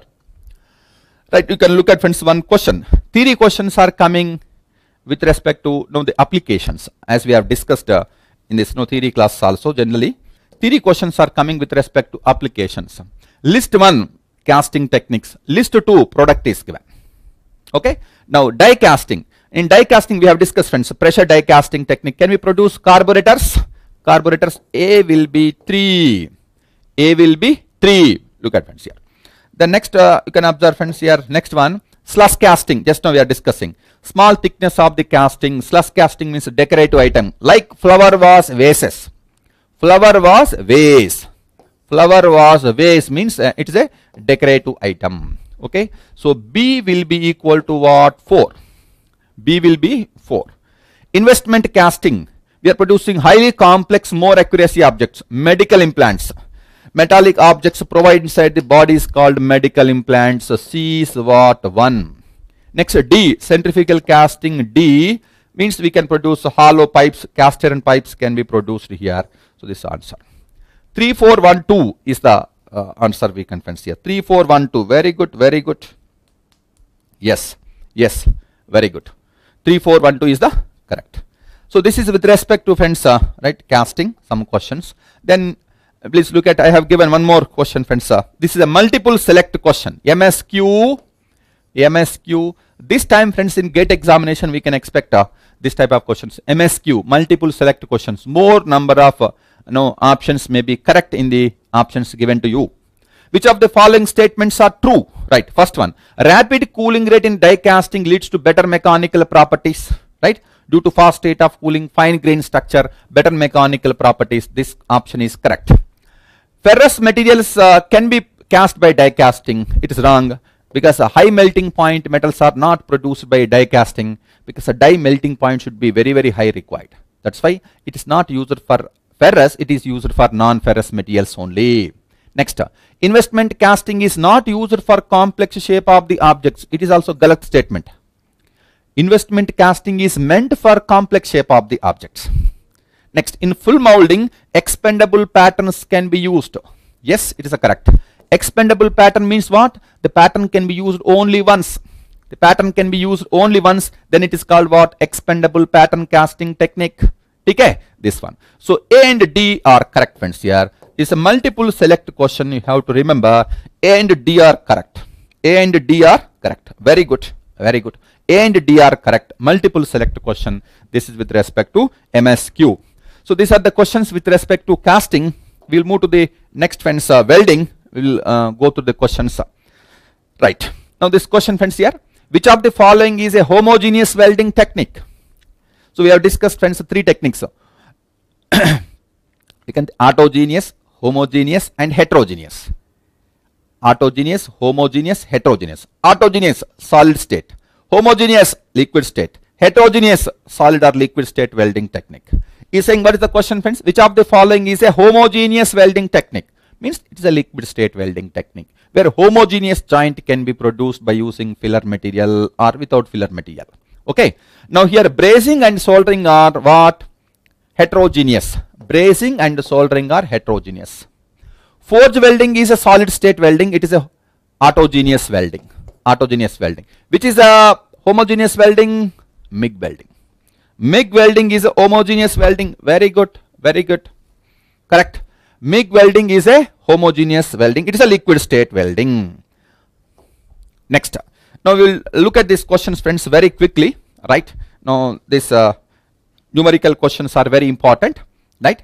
Now I will give shortcuts to find out this one because it may take more time to find out uh, by using general method, but I will give a shortcut to you. Okay, this can be used in gate examination. Object type questions we can use.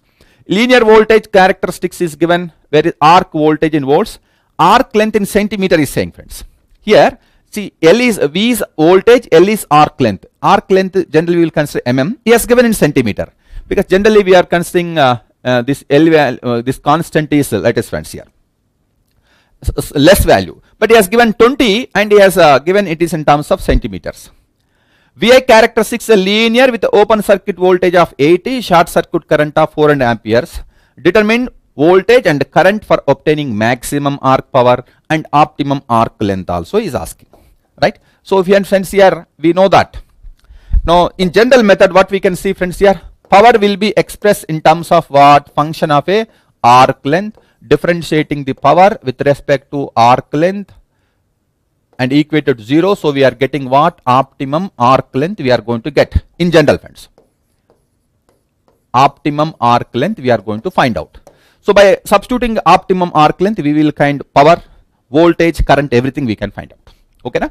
but here please look at now we have given friends one condition if it is a linear power source characteristics, maximum power condition, that is very, very important. Maximum power condition, maximum power condition is given. This is very important. Maximum power condition, linear power source characteristics. Linear power source characteristics is given. We can find out friends Vt equal to we can think of friends V naught by 2. IT will be equal to IS by 2. What is V naught? Open circuit voltage. What is IS? Short circuit current. So VT will be equal to 80 by 2. It will be equal to 40 volts. IT will be equal to IS 400 by 2. It will be equal to 200 amperes. IS is short circuit current as given no? Open circuit voltage is 80 volts. So V naught will be equal to 80 volts. Open circuit voltage. Short circuit current is 400 amperes. So this uh, can be used if maximum power condition linear power source characteristics is there. Maximum power linear power source I can find here. So voltage and current we can find out friends here. Now if you want to find out optimum arc length, please look at here. So we know that friends here for a linear arc, uh, please think of uh, uh, condition. What is a stable arc generation condition? We know that Vt equal to Va. For linear power source characteristics, stable arc generation condition, stable arc generation condition for a linear power source characteristics is Vt equal to Va, right? So Vt will be equal to friends here how much now 40 will be equal to Va that is a 30 plus 20 into La arc length we are generally representing LA or capital L we can say. Now here LA will be equal to how much friends here? 0.5 okay 0.5 centimeter. Or we can think of friends uh, LA equal to 5 mm. Optimum arc length of how much? 5 mm is the answer we can say. So what is the current and voltage. Voltage is 40 volts current is 200 amperes. Right? Arc length is how much optimum arc length is this much. Then if you want to find out the power, P max, at optimum arc length the power is P max, right? So you can find out the P max will be equal to, how much here friends here? This is uh, 40 multiplied by 200. So 8000 watt, right? 8 kilowatt we can find out. 8 kilowatt. You can use this shortcut method so that within a minimum time you can find out the solution here, right?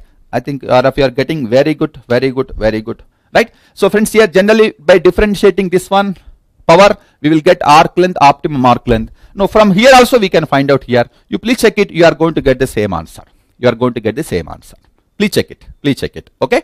Because in gate examination, time is very, very important. You can use the shortcut methods to get this particular one, okay? Or you can use this also friends, there is no doubt, there is no doubt.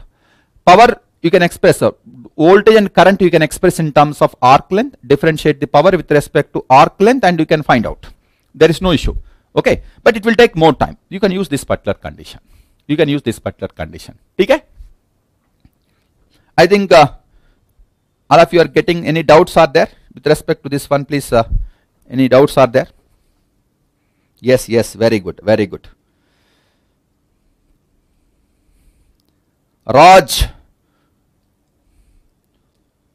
Shubhash Neeraj very good. All of you are getting the same answer right? We'll move to the next concept friends. Right?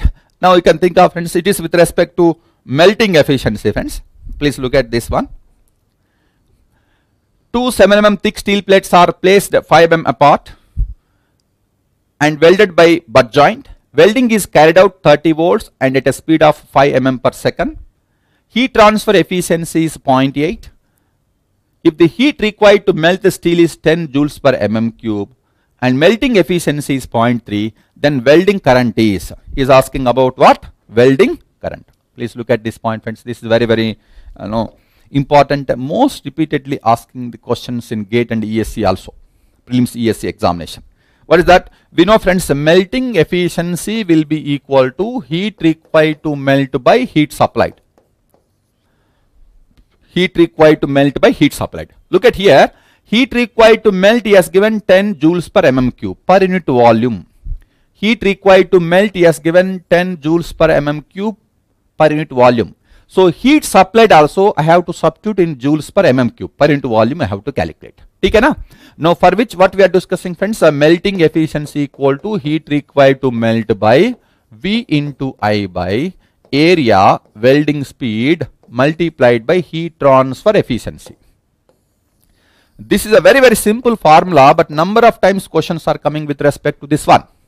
Number of times questions are coming with respect to this particular formula melting efficiency, heat required to melt in joules per mm cube, heat supplied in joules per mm cube, voltage, current, area, welding speed, heat transfer efficiency. Right? Please closely observe friends here.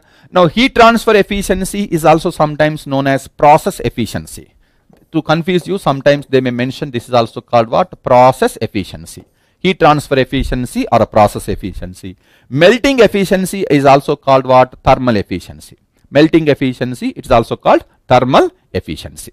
Now the question friends please observe now you may be getting what is the area of this weld bead you may be getting the doubt here look at here now this is uh, two workpieces friends here you can consider I am going to produce a butt joint by using it is a square butt joint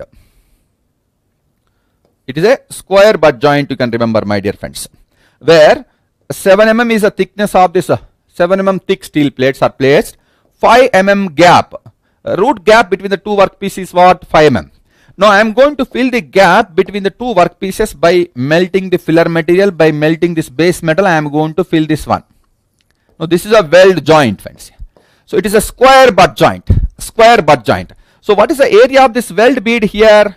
Area of this weld bead here is very simply root gap gap between the two work pieces multiplied by what thickness that is 5 into 7 mm it will be equal to 35 mm square 35 mm square we can consider area you may be getting doubt can you please remember this one so remaining all these values are given here then you can find out what the current is asking about what current so if you substitute this particular equation friends here melting efficiency will be given by what friends here melting efficiency equal to 0.3 heat required to melt is 10 joules per mm cube.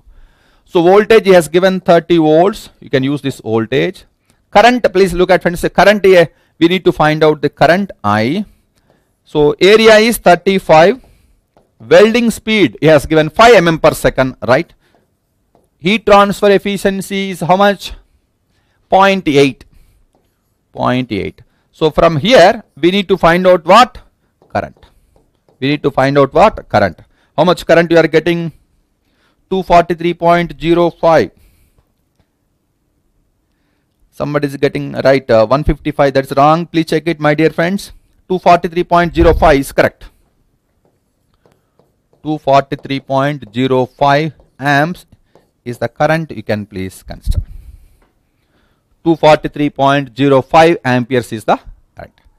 Right? Is the correct? Now look at friends here. In this particular one is asking current here. Next time friends here some sometimes they may ask to find out voltage. Sometimes they used to find out uh, area, sometimes they may be asking welding speed, sometimes directly they will ask melting efficiency. Can you find? This? Please remember this particular equation. Please remember this particular equation.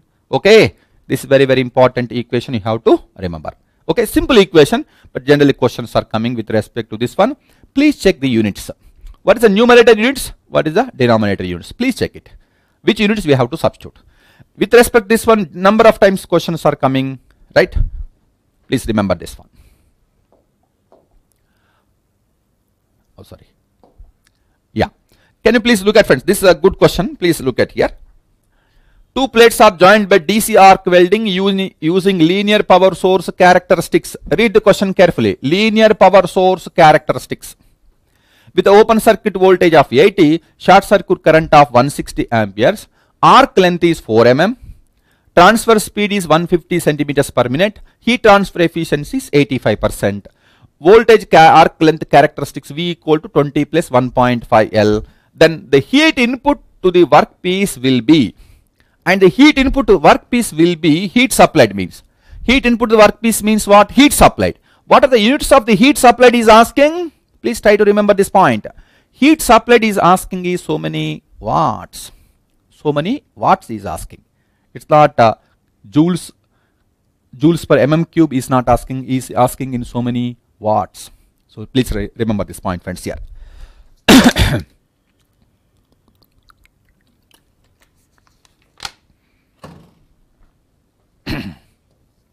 look at here. So how to solve this question friends please look at this interesting question. And here heat supplied equation friends here in heat supplied equation there are three equations friends I will write. If you want to get the units are in so many watts so many watts you, you want to require I can say V I multiplied by heat transfer efficiency units are so many watts heat supplied just voltage current multiplied by heat transfer efficiency. Okay? Right. Now sometimes uh, if you want to find out heat supplied in, uh, please think of V into I by small v multiplied by heat transfer efficiency. The units are joules per mm per unit length. Heat supplied per unit length. I can use this formula. Just now we are discussing heat supplied per unit volume V into I by area welding speed multiplied by heat transfer efficiency. This is joules per mm cube. Please remember this point friends here. These three equations are saying heat supplied only. These three equations are heat supplied only. Please remember this point. But the units are different. So this is so many watts. That is joules per second. This is joules per mm per unit length. This is joules per mm cube per unit volume. Now first statement is asking now here because the units here mentioned is what? So many watts. And my dear friends here in this uh, heat supplied equation voltage and current always we need to find out VT and IT. Power source voltage and power source current we have to substitute. Not open circuit voltage and open short circuit current. Has given 80 volts is open circuit voltage. I can think of 160 it is a short circuit current. It is a short circuit current. Don't use open circuit voltage and short circuit current. We need to find out what? We need to find out what? VT and IT, power source voltage and power source current. VT and means can I say transformer? Transformer voltage and transformer current we need to find out. And is mentioned friends it is a linear power source characteristics. Linear power source characteristics. For linear power source characteristics what is a stable arc? Stable arc will be equal to Vt will be equal to Va. Vt will be equal to Va. Stable arc generation condition because as mentioned it is a linear power source characteristics. Find Vt and It first then you can use heat supplied equation. That's very very important. Okay. Right. Now we know friends here from this equation please think of here this equation friends here we may be getting doubt so sometimes they are mentioning in terms of arc length mm, sometimes they are mentioning in centimeters, we have to consider which one. If the problem, if there is a centimeter, they will give a arc length in centimeter. If nothing is mentioned, we have to consider in mm only. But sir, how to remember this? Please look at here. If L is in centimeter, this value will be not 1.5, it may be 15. or 20 like this. If L is in mm, it is a very small value. But generally we can say VA equal to A plus B LA we are considering friends. Arc length, arc voltage relationship is given by this one. Arc voltage, arc length. So please think of A and B are what? Constants. So if arc length in centimeters, B value will be different. If arc length is in mm, B value will be different. So here nothing is given, it is mm. By default it is mm. In previous problem he has mentioned centimeter, you can consider centimeter. If nothing is mentioned, it is mm. But generally in the question they will mention where arc length in mm, arc length in centimeter, it will be given in the problem. Okay? Right, please observe this point. Now if you look at friends here is given arc length uh, mm please. Arc length mm is already given. So I am going to substitute VA will be equal to 20 plus 1.5 into 4. So how much you are getting friends here? This is 26 volts. And we know that friends, the relationship between Vt will be equal to V0 minus It by Is multiplied by V0. This equation is there now. Please remember this equation friends here. Please remember this equation. Vt equal to V0 minus It by Is into V0. Okay. I think please look at uh, this one. Now, if you want to remember this, uh, this equation friends here, I can write here this one this is a V, this is I, right? So this is please think of friends V naught, this is what IS. So this x intercept, y intercept equation I am going to use. So that what is the x intercept I by IS plus V by V naught will be equal to what? 1. Maximum voltage at current will be 0, it is open circuit voltage. Maximum current at voltage will be 0, that is called short circuit current IS. So x intercept, y intercept equation you are giving, this is uh, uh, no, transformer current transformer voltage we are using this equation we are getting. From here I am going to get this particular equation. So Vt will be equal to V naught what is the V naught value as given friends? V naught I think 62 oh, 80 160 right. It is 80 IT we need to find out. This is 160 multiplied by 80 right so we know friends here from this equation can I use Vt equal to Va right. So what is Vt 80 minus It by 160 into 80 will be equal to Va that is 26 volts. From here can I find It value? I will find IT value. Anybody got IT values how much friends? Yeah. IT value you have to find. IT equal to 108 108 amps. Correct. Then you can find out heat supplied now. Heat supplied you can find out. Heat supplied equal to voltage that is 26 volts multiplied by current 108 into heat transfer efficiency anything is given? If it is given you can use it otherwise you can neglect that value. Arc length uh, travel speed is not required. Heat transfer efficiency is 85% yes given sorry.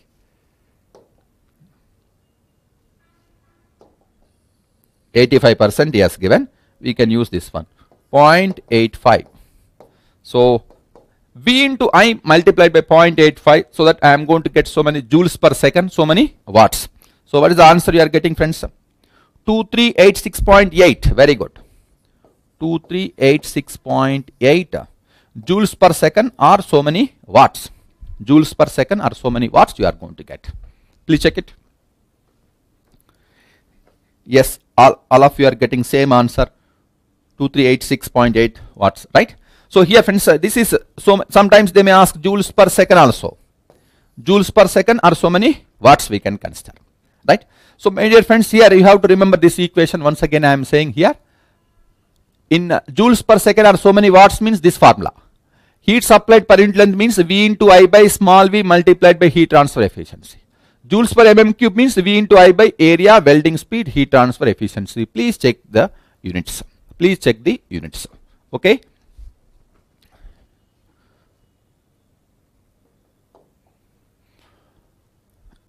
right, this one.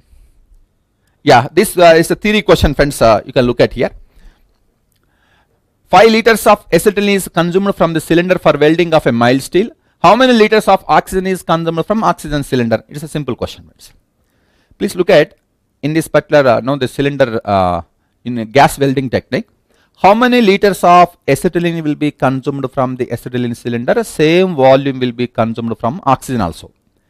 Because uh, one volume of uh, acetylene, one volume of oxygen will be consumed from the oxygen cylinder. Remaining 1.5 volumes of oxygen will be consumed from atmosphere.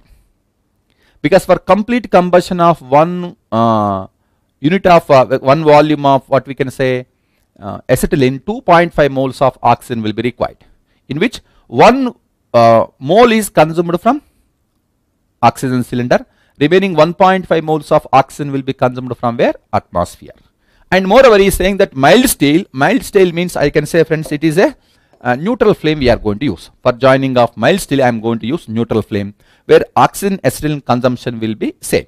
So 5 liters of acetylene is consumed from acetylene cylinder. 5 liters of oxygen will be consumed from oxygen cylinder. Now next uh, remaining volume can be consumed from where? Atmosphere. Remaining volume can be consumed from atmosphere okay? Yes very good. If nothing is please look at friends here. Mild steel is given then we will consider it's a neutral flame. Please remember here for sometimes if the metal is not given unless otherwise mentioned it is a neutral flame. Please observe unless otherwise mentioned it is a neutral flame you have to consider. Temperatures also friends. If temperatures also if uh, temperature of the flame they are asking if nothing is mentioned it is a neutral flame.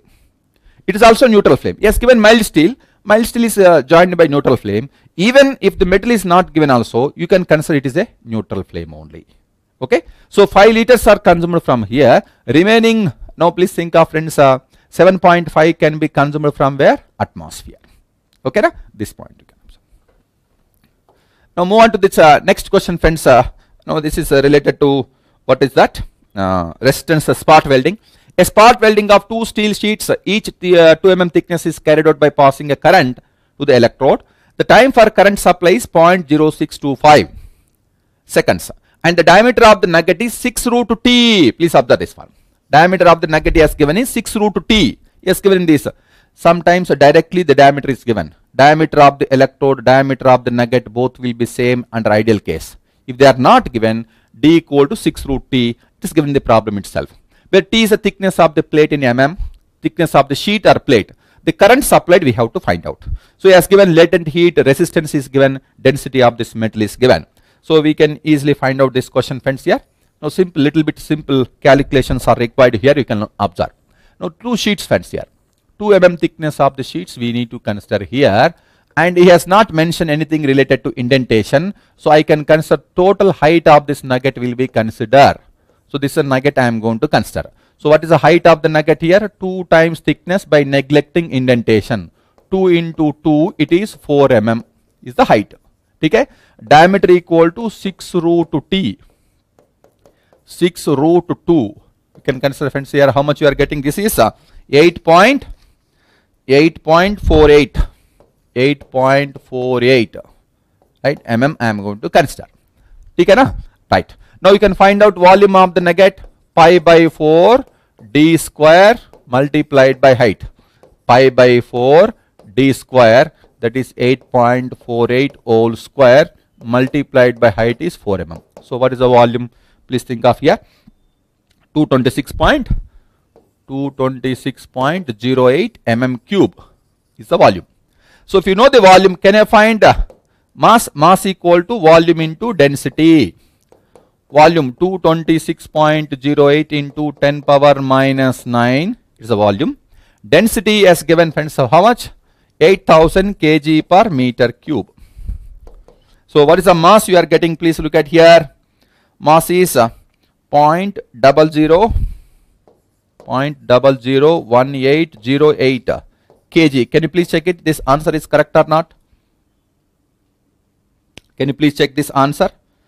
1808 right kg volume into density. This mm cube we are converting into meter cube because uh, density is given kg per meter cube. Mass is given.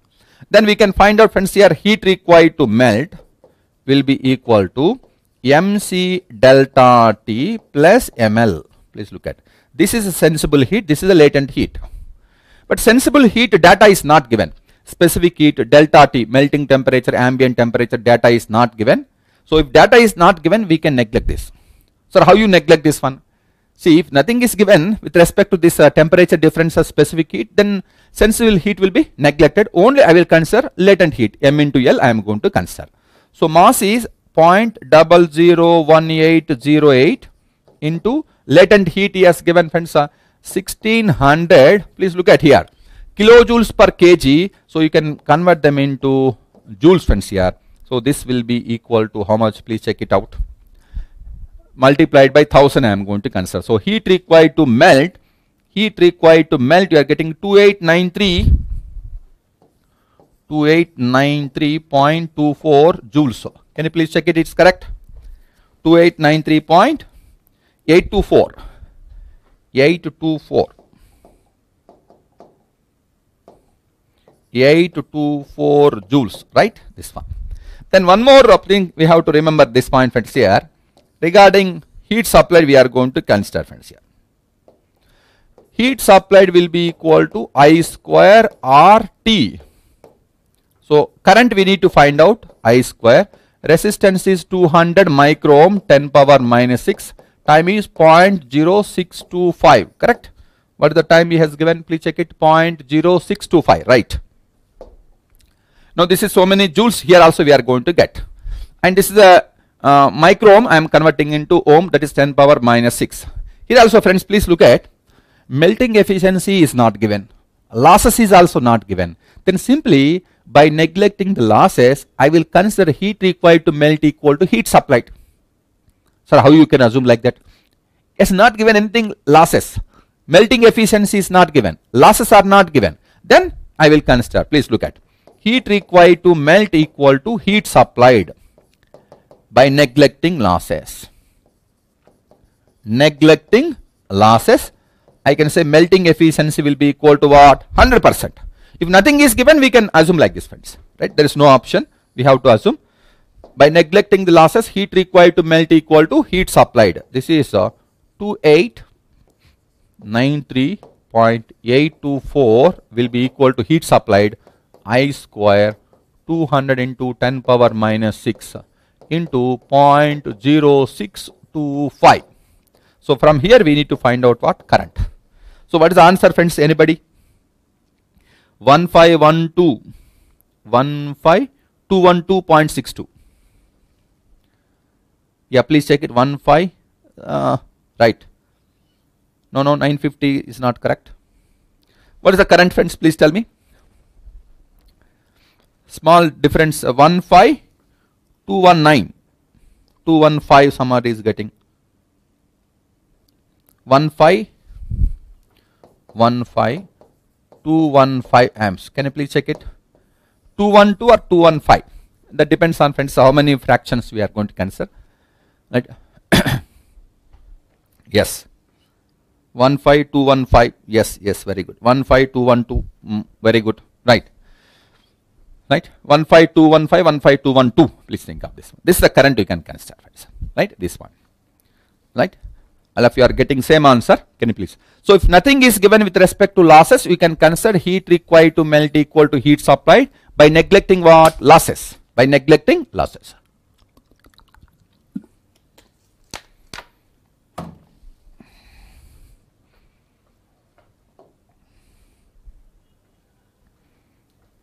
Yes.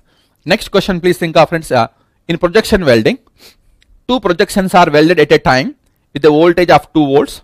Assuming contact resistance of 200 micro ohm for each projection.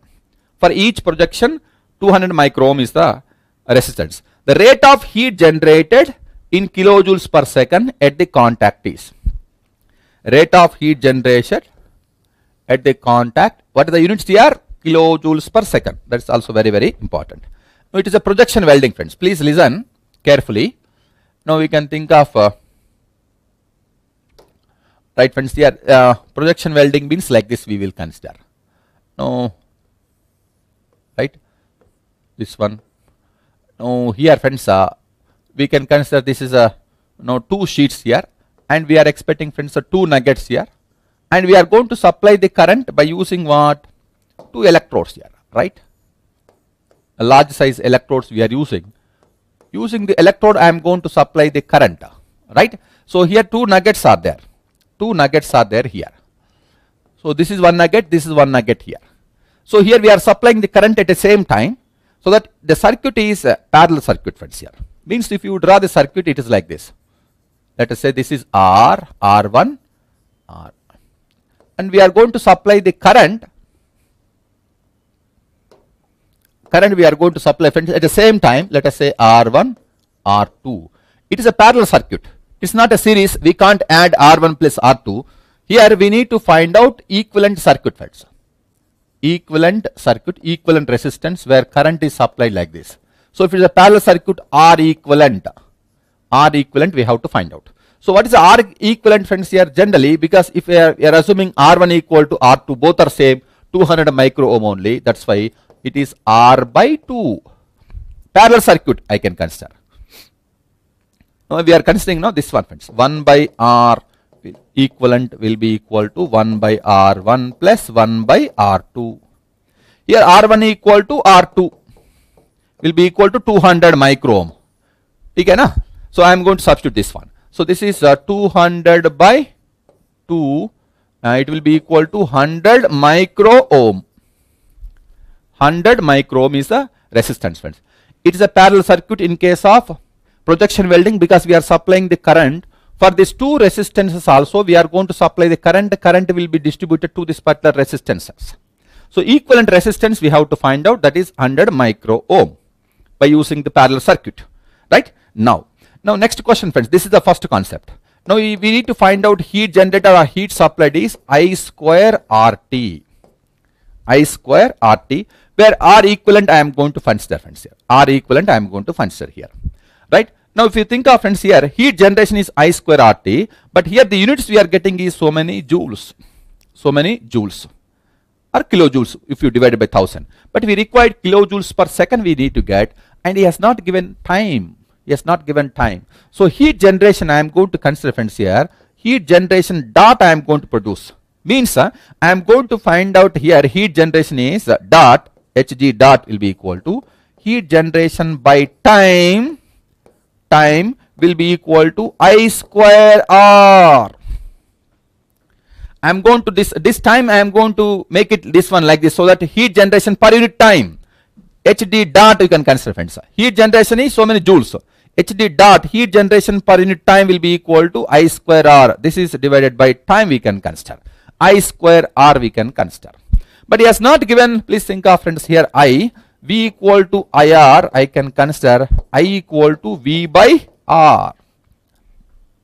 So this is V square by R square multiplied by R. So this is V square by R I am going to consider.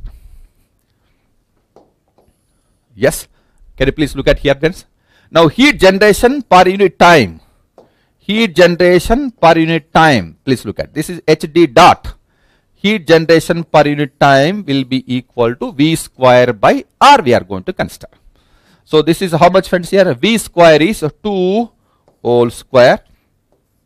R is 100 micro ohm 10 power minus 6 aina minus 6. I am going to divide this by 1000 because I want to get so many kilojoules friends here kilojoules per second. So divided by 1000 divided by 1000. So what is the heat generation you are getting here? Please look at here. If you simplify this one, you are getting friends here. This is 4, 4 and how much you are getting this point please check it here. This is uh, 1, 2, 3, 4, 5 and this is 6. So how much you are getting friends here?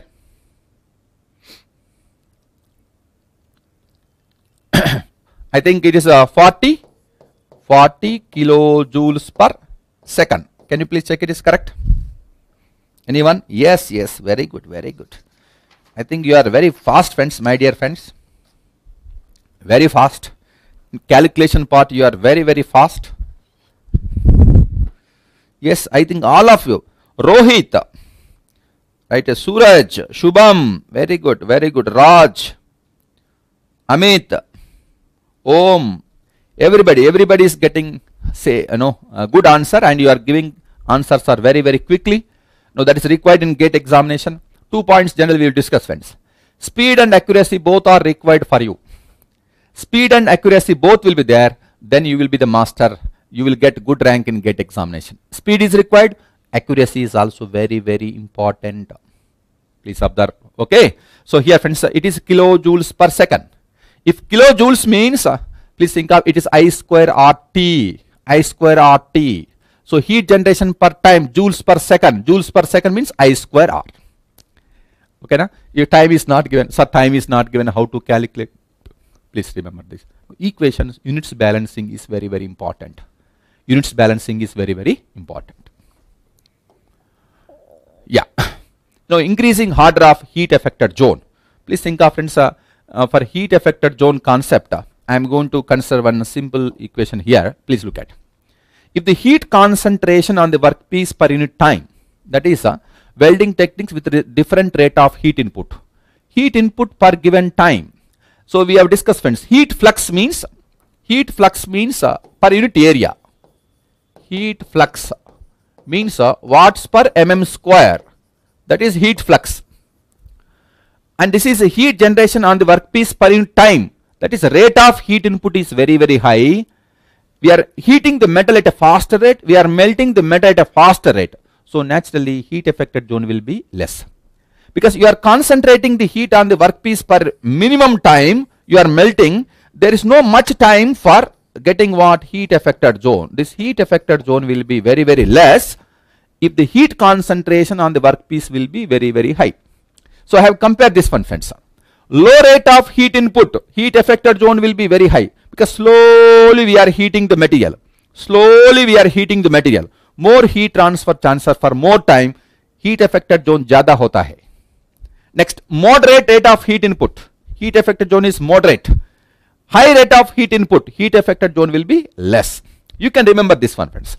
Electron beam welding, plasma arc welding, laser beam welding, spot welding and seam welding technique uh, heat concentration is very very high. For small time heat affected zone will be very very less. Then later we can consider here friends. Later we can consider here. Now in this also you are getting one doubt friends. Please look at here. Now because you can look at here. Now in electron beam welding please look at here. Heat affected zone will be very very less. So first I will write electron beam welding. What is that? Is asking increasing order of heat affected zone. Increasing order of heat affected zone means uh, I will like this fancy. Where high heat affected zone will be there, please think of here.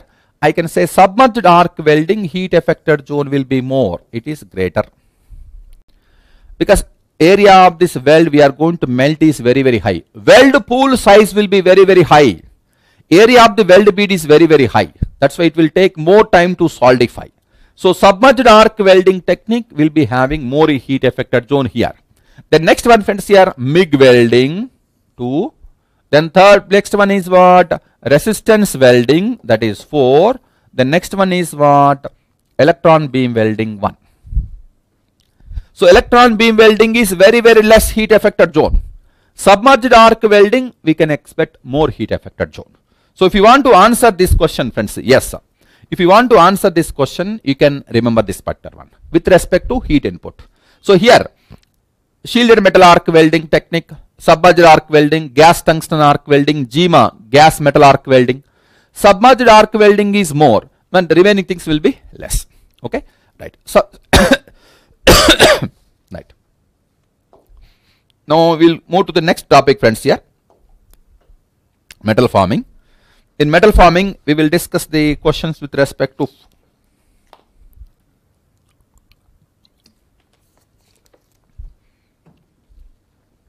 rolling friends.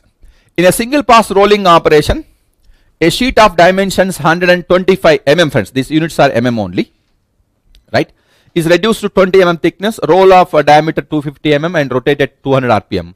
If the sheet thickness at the neutral plane is 25 mm, the rotation the ratio of forward and backward slip is is asking the ratio of uh, no we can say forward to backward slip ratio is asking okay right. Now if you want to solve this one friends here very simple question. Right this one. Now i will explain the concept. I think uh, one minute i will uh, draw this rolling operation friends. So please look at here.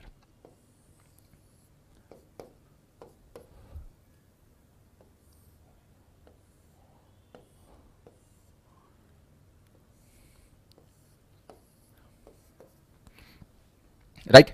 So two rollers are rotating. Now workpiece is passing through this one right? Once you attach this one, this workpiece is passing continuously without any external force here because no, this is uh, because of the friction between the roller and workpiece. This is called a self entry, self entry or condition for self entry. Now look at friends here. This is the rollers. We can say initial thickness of this workpiece is h naught. Initial velocity of this workpiece is b is we can say v naught. Now at the exit I can say thickness is hf. Thickness is final thickness. Uh, uh, final velocity vf. And you can observe friends here. This is a roller. A roller at the center of the roller. And this is a please think of initially. And if you look at friends here. now this is actually arc of contact we can consider in the arc of contact at this point friends here that is a neutral plane or neutral point we can consider neutral plane or neutral point we will consider friends so what is the specialty of this neutral plane or neutral please think of initially if the roller is rotating at a given please think of velocity vr friends velocity of the roller is what vr so initially if the workpiece is passing initial velocity of the workpiece will be less initial velocity of the roller will be more. I can say velocity of the roller is greater than what? Velocity of the workpiece initially. That's why this due to the high uh, rotational speed of the roller, workpiece will be dragged into these particular rollers. Workpiece will be dragged into these particular rollers. At the exit, at the exit I can say velocity of this workpiece will be more than what? Velocity of the roller. Velocity of the roller. So here please think of friends. Initially velocity of the roller is more. Exit we can think of at the inlet velocity of the roller is more. At the exit velocity of the workpiece will be. In between if you think of friends at neutral point please observe here at neutral point velocity of the roller velocity of the workpiece will be same. Velocity of the roller and velocity of the workpiece will be same at the neutral point. So at the neutral point, if the velocities will be same, there is no slip, slip is not there. So at neutral point, I can say velocity of the roller and velocity of the workpiece will be same. No slip condition we will consider. No slip condition that is at neutral point. Okay, na? this one. So if you look at friends here at this neutral point, we can say no slip condition and the velocity of the roller and velocity of the workpiece both will be same at the neutral point we can consider. So initially we can think of roller velocity is more when compared to workpiece. At the exit, uh, workpiece velocity will be more than what? Roller. Because thickness is reducing means velocity will be getting increased. In between, at the arc of contact friends here, at the point, uh, please think of noon at the arc of contact, velocity of the roller and velocity of the workpiece both will be same. That is called what? Neutral plane or neutral point. Both velocities will be same. Workpiece velocity and no, what is that? Velocity of the roller both will be same. And if you think of friends here, this region, this is called, we can think of friends, leading zone. This is called leading zone. This is called what? Lagging zone. This is called lagging zone. This total area, friends, we can consider it is a deformation zone. This is called deformation zone. So please up to this neutral point, this is called lagging. And this is called what? Leading. In the leading zone, we are expecting friends here forward slip forward slip will be in the leading zone.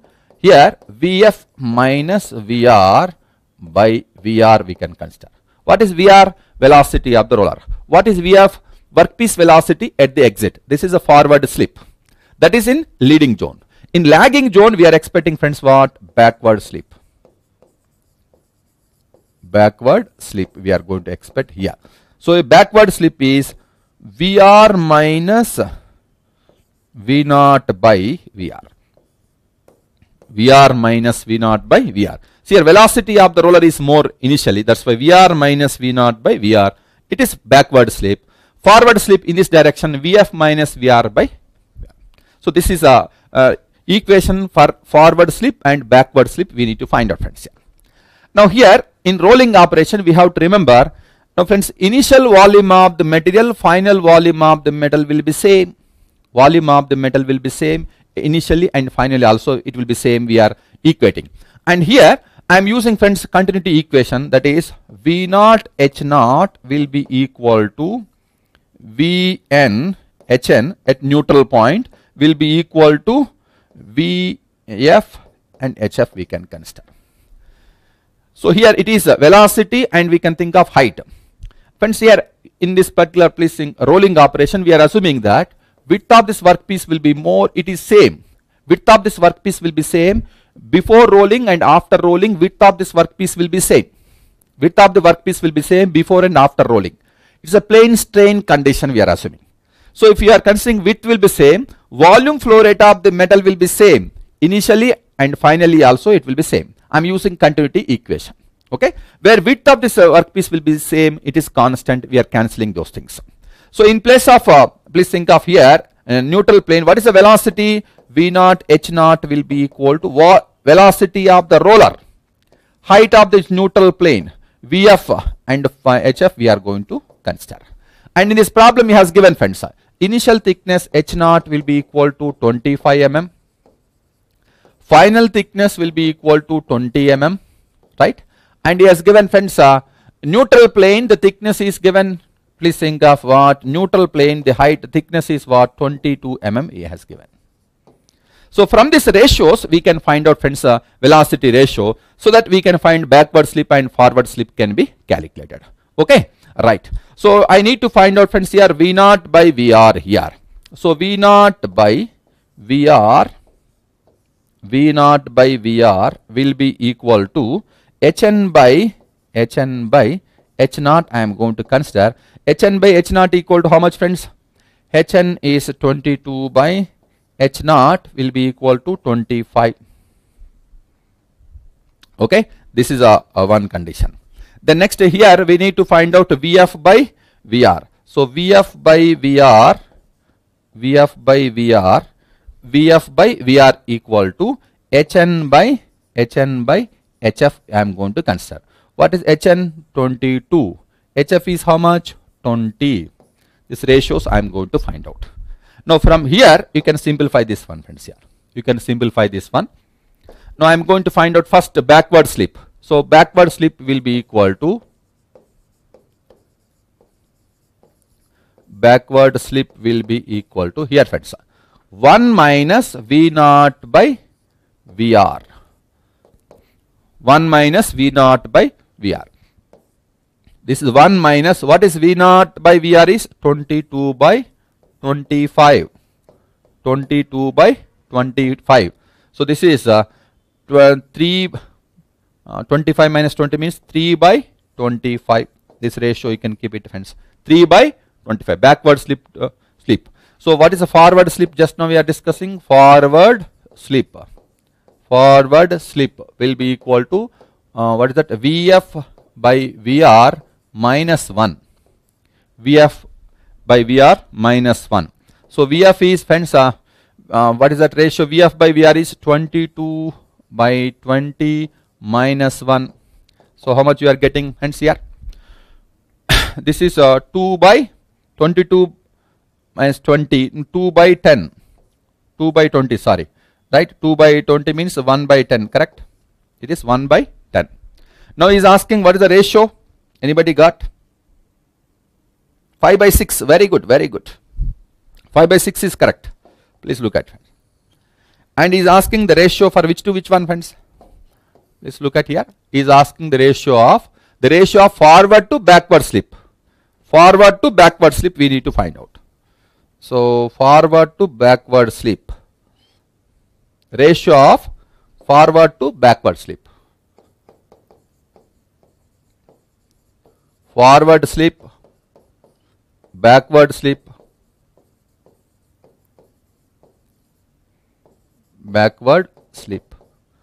Forward slip is how much friends? 1 by 10 into this is 25 by 3 okay? 5 5 is a 5 2 is a this is 5 by 6 this is correct? 5 by 6 5 by 6 please observe it's this one. Ratio of forward slip to backward slip. Ratio of forward slip to this is 1 by 10 forward slip 1 by 10 backward slip this is a 3 by 25 25 by 3 okay? Please check it this one. 5 by 6 This ratios friends we can uh, write.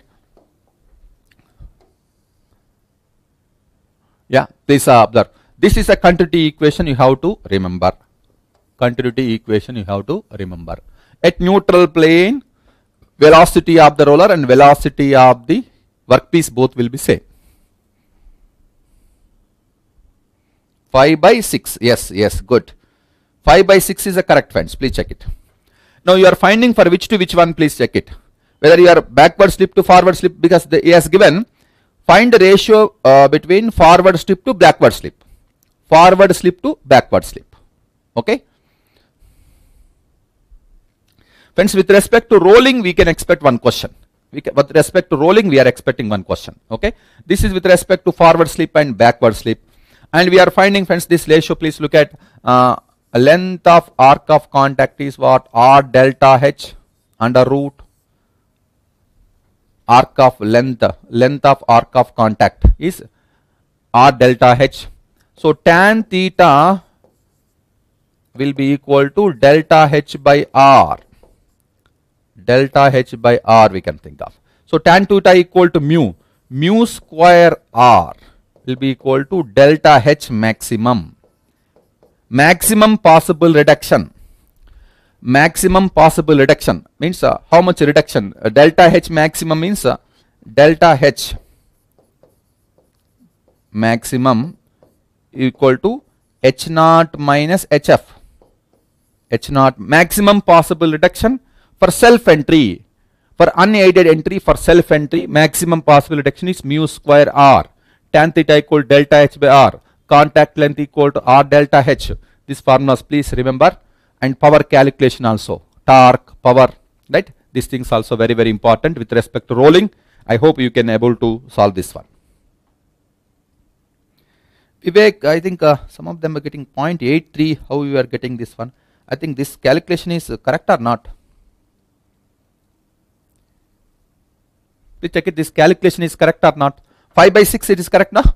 Please check it friends. Please check these answers. Some of them are answers are not matching. But some of them are getting 5 by 6. Please check it. Please check it this uh, calculation part.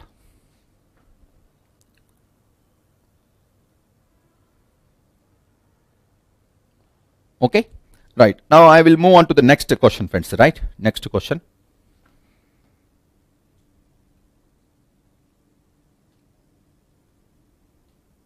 Correct. Yes. Good. Right. Now you can think of friends. This is uh, with respect to right uh, forging. Generally forging friends uh, formulas, uh, lengthy formulas we have discussed, but those things are not required here. But simple questions are coming. We will discuss one question friends here. Please look at. A strip of metal with initial dimension is forged between two flat dies to a final size of this one. If the coefficient of friction between the job and the die is this one, mu, which type of friction will act on the work die interface considering middle of the strip as a origin? You can observe friends here. This you can observe closely here. Friends here this is a concept of a slab rectangular bar forging two things we have discussed, no, rectangular bar forging and axisymmetric forging, right?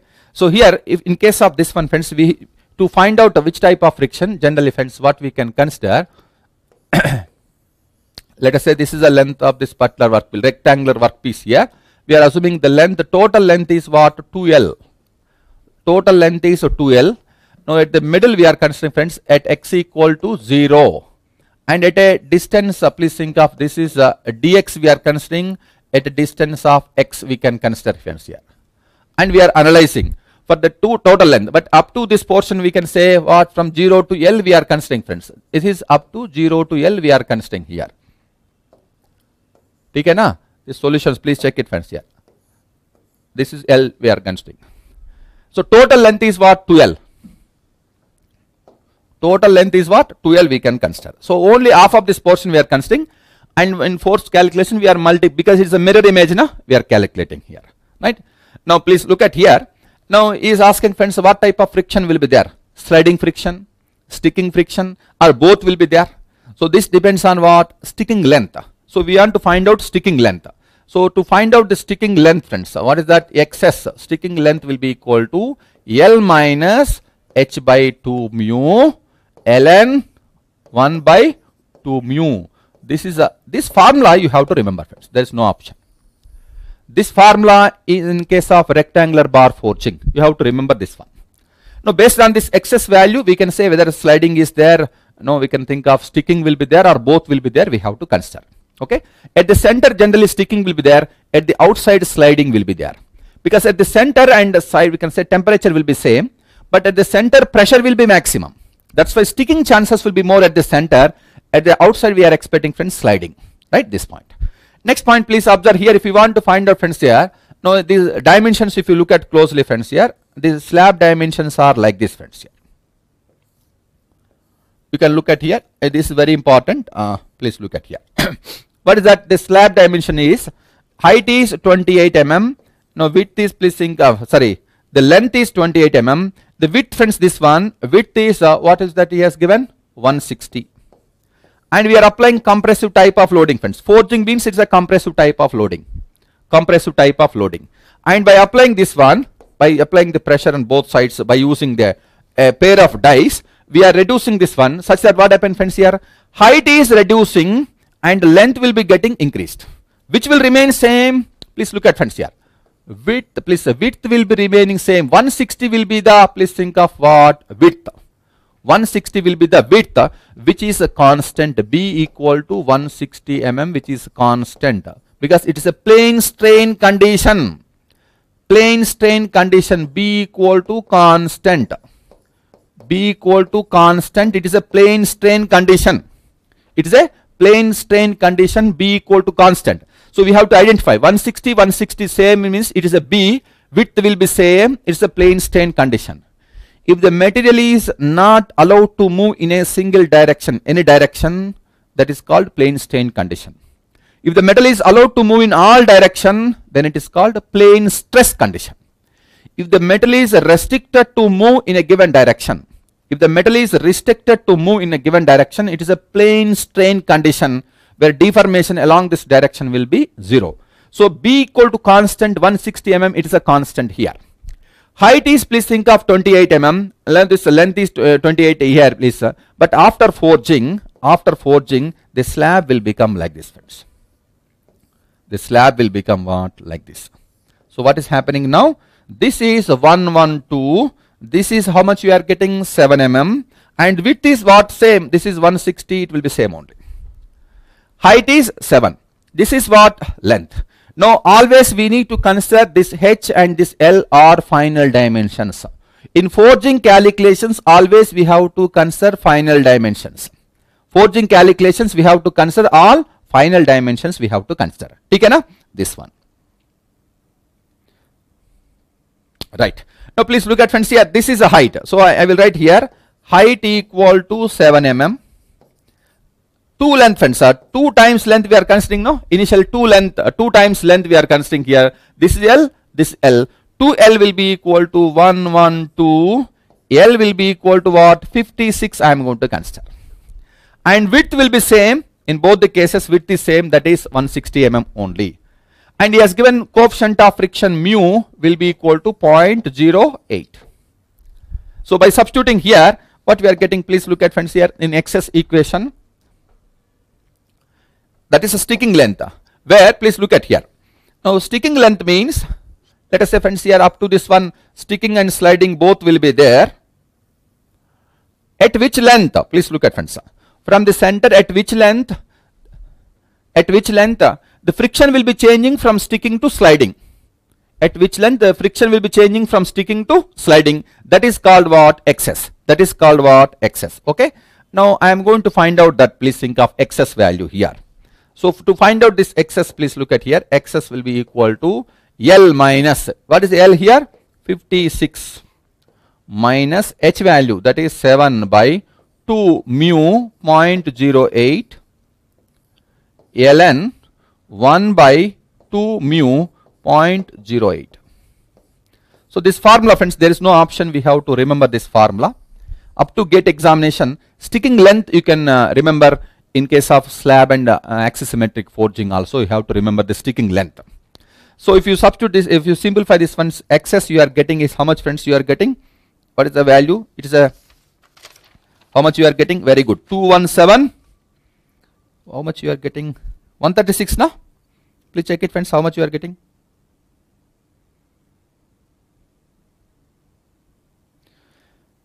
yes how much you are getting if you are please think of 56 you are getting this is a ln what is the value of xs what is the value of xs here? 136 no? Please check it. Anybody?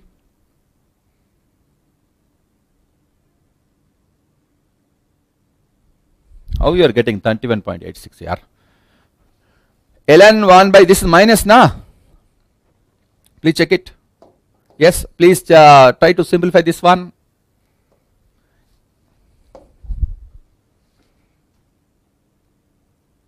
Are how you are getting here? Yeah 136.17 136.1754 mm you are going to get. Now ln 1 by something no you are getting minus minus minus plus 56 plus something. No you are getting this value. 56 is there now l minus this one now look at friends here. We are getting the three condition friends. Xs uh, please look at here. If xs is uh, greater than l no think of sliding only sticking will be there. If xs is less than 0 sliding only sliding will be there. Uh, if please think of uh, 0 less than xs less than L means uh, both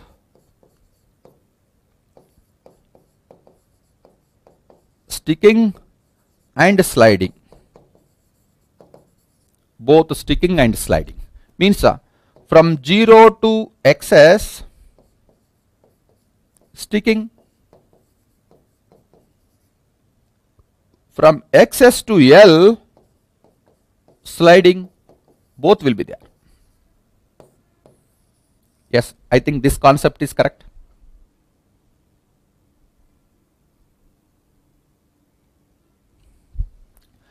Yes if xs is greater than 0 if xs is greater than 0 only sticking will be there. Xs is less than 0 sliding will be there. If 0 and L in between xs value is there then both sticking and sliding both will be there. Okay? 0 to xs sticking xs to L sliding will be there. Now please I think you have to refer the notes friends one more time. Right? Please refer the notes. Ln 1 by 0.16 how much you are getting here? Are negative na?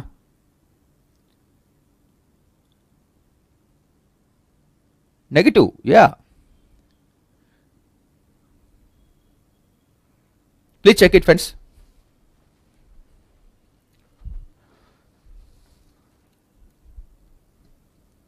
Ln 1 by 0.16 yeah how much you are getting? Is a negative or positive? Xs value you are getting this negative value how much you are getting? Yes. Yeah please look at here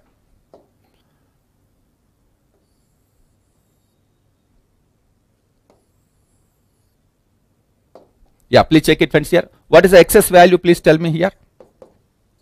Now but this condition friends please look at here. Condition is this one. If xs is greater than L only sticking will be there. If xs is less than 0 there is no sticking only sliding will be there. 0 to xs L both sticking and sliding both will be there. Both will be there. What is the xs value? Please tell me now. What is the xs value minus 24.175 okay good. Minus 24.175 minus 24.175 so if you are getting negative value x is uh, less than 0 means uh, it's upside value. If this uh, x is minus 24.17 means it's a upside value. Means uh, please look at here. We are considering x equal to 0 here. X equal to 0 here. X equal to less than 0 means uh, there is no sticking at all general sticking will be there at the center no if x is less than 0 it is a negative value means uh, it is upside value because x is less than 0 is not there so there is no sticking at all only sliding will be there Only sliding will be there. Can you please look at here? I am returning, please think of, right. now please look at friends. So this is very important. Please remember. If xs is greater than L, sticking will be there. Xs is less than 0, only what will be there? Sliding will be there. So you are getting negative value, no, minus 24.175, correct? Yes, minus 24.175 everybody is getting, right? This one. If you are getting negative, what I can say friends here is only sliding. Only sliding will be there. Sliding friction will exist. Right? So if this uh, xs value is in between 0 and L, both sticking and sliding will be there. If this xs value is between 0 and L, we can say both sticking and sliding will be there. If xs is greater than L, we can say sticking will be there. Okay? Right. Very good, friends. Yeah? Please look at. Right? Now, please look at, friends, this concept, uh, right? If this is a negative value, I can say sliding friction will be there. So, this, please simplify this one, friends. I think a small uh, simplification correction is there, right? It is a negative 24.175. Okay? Please observe. Now, this is a uh, recurrent, friends. And the same concept we are going to use, friends, uh, for this one. In case of uh, axisymmetric forging, now this is uh, sticking friction will be equal to R minus uh, H by 2 mu ln 1 by root 3 mu. it is according to von Mises theory. Von Mises theory. Rs will be equal to R minus H by 2 mu ln 1 by 2 mu. It is according to what? Tresca's theory.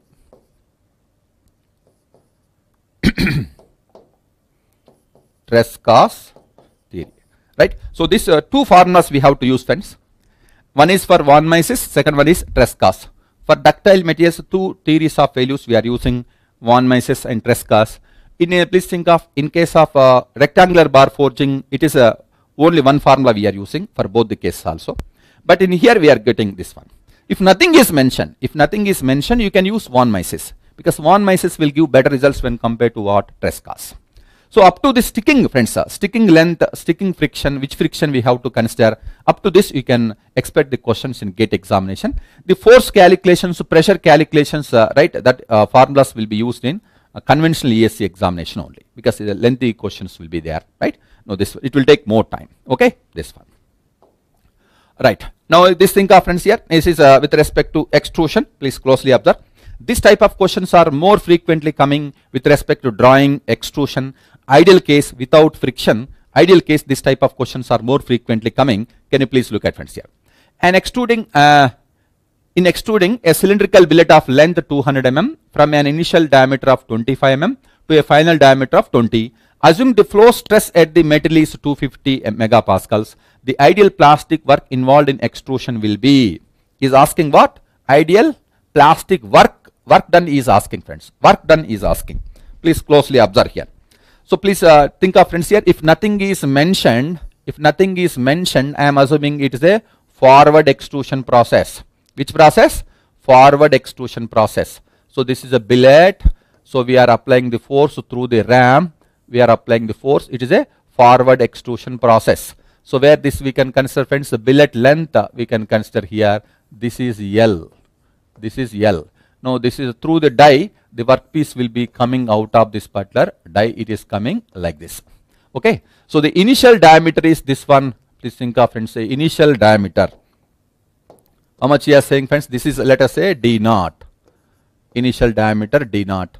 Final diameter will be equal to DF we can consider. Okay na? This one. It is a forward extrusion process. Length. Length of the billet will be L we can consider friends here. Okay. Now, without a friction, if you want to find out friends extrusion stress, I can consider it will be equal to sigma naught ln A naught by AF I am going to consider. Without friction, ideal case friends. Without friction, ideal case if you want to find out uh, extrusion stress, sigma is extrusion stress equal to sigma naught ln A naught by AF. Where sigma naught is flow stress. Flow stress. Here, please observe friends here now one important point here, flow stress sigma naught will be equal to 250 megapascals here. 250 megapascals.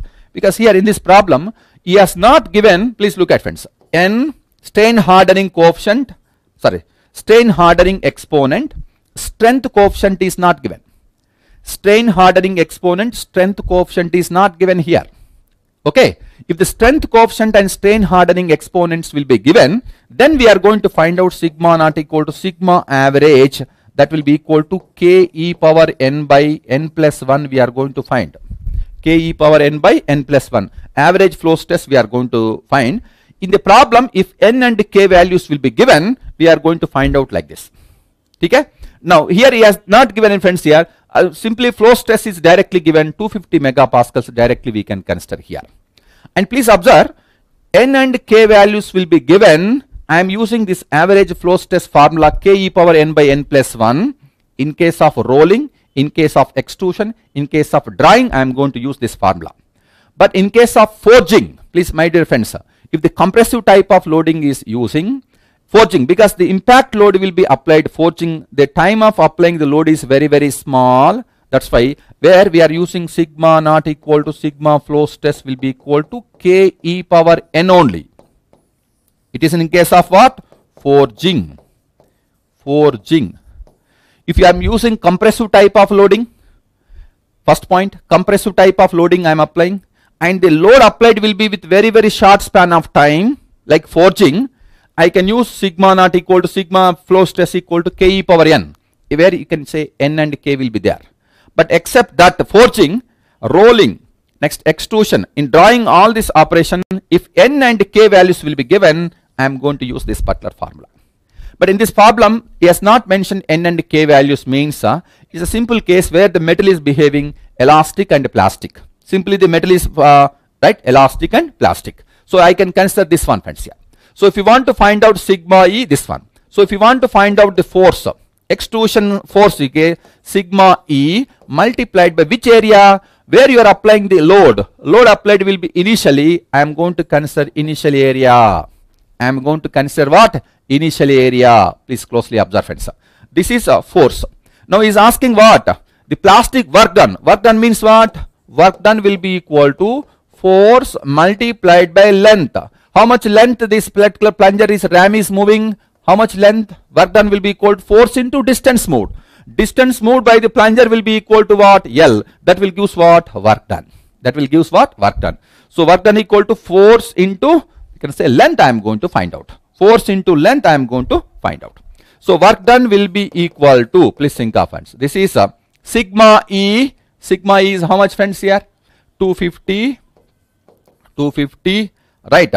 ln ln a naught. Please think of in terms of uh, diameter means I will consider whole square that is 25 by 20 whole square. Pi by 4 d square na? This one. Ln whole square multiplied by. Please think of this is uh, right a naught. What is the a naught friends here? Pi by 4 d naught square that is 25 whole square. So this is uh, friends here a megapascal. So this is a newton per mm square. This mm square will be getting cancelled. Then next what we can find friends here uh, uh, this is 200 mm now length is 200 mm divided by 1000 so this will gives what uh, this thing of joules actually. This will be in so many joules you are going to get. If you want to find out friends this is uh, actually mm i am going to convert into let's uh, please think of uh, uh, divided by 1000 because meter so that you are getting what? So many joules. But he is asking the units are kilojoules so kilojoules. So divided by one more 1000 to get what? Kilojoules. I am going to divide by one more 1000 so what is the work done? Please tell me here. Work done will be equal to how much you are going to get here? Yes. 10.953 10.95 very good 10.95 kilojoules is the work done. So friends here this is uh, without any friction without any friction if you want to find out uh, so the extrusion stress I am going to use this particular equation. Uh, with sometimes friction and now please think of uh, right, uh, redundant work is given extrusion stress will be equal to sigma naught 1 plus b by b right uh, this one please think of friends here uh, what is that a naught by af whole power b minus 1 whole power b minus 1 I am going to consider. Okay, this equation is correct? Yes. Where b equal to mu cot alpha. Mu cot alpha. Mu is coefficient of friction between the die and the workpiece. Alpha is semi-die angle. Semi-die angle. Right. So sometimes friends here friction right uh, alpha die angle is given then if you want to find out I can use this Butler formula sigma e. If you know this sigma e then find out the area multiplied so that uh, force multiplied by the work done then you can find out this okay na please think of if you know the same friends uh, power also friends here that is what uh, force uh, extrusion stress multiplied by what is that velocity extrusion velocity will gives what power so many watts if you want to find out the power in extrusion, Fe multiplied by V we can consider. Fe multiplied by V we can consider. Okay? Right.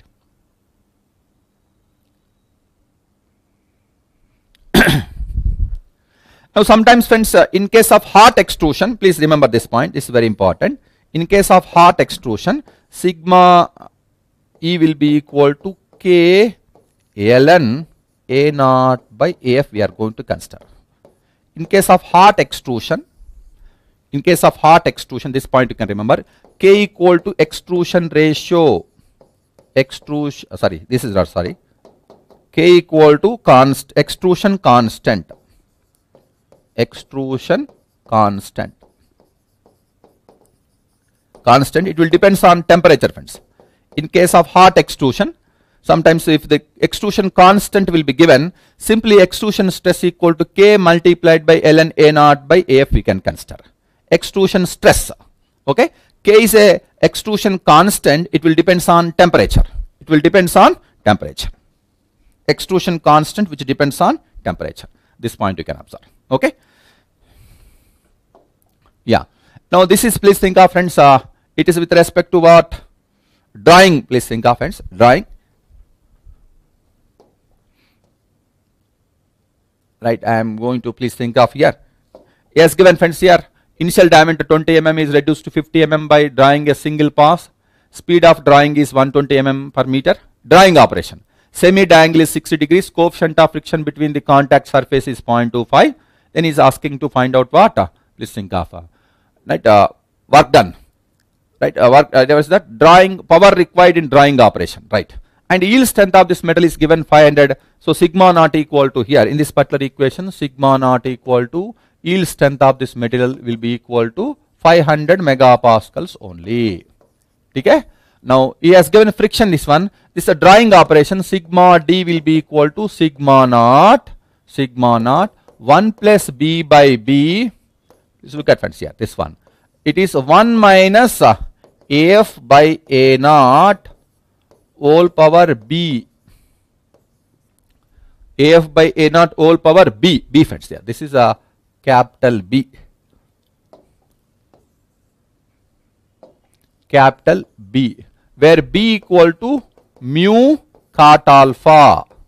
Mu cot alpha. What is up please? 0.25 cot alpha. Semi die angle is how much friends uh, Dam semi die angle is 6 degrees yes saying friends so b equal to mu cot alpha.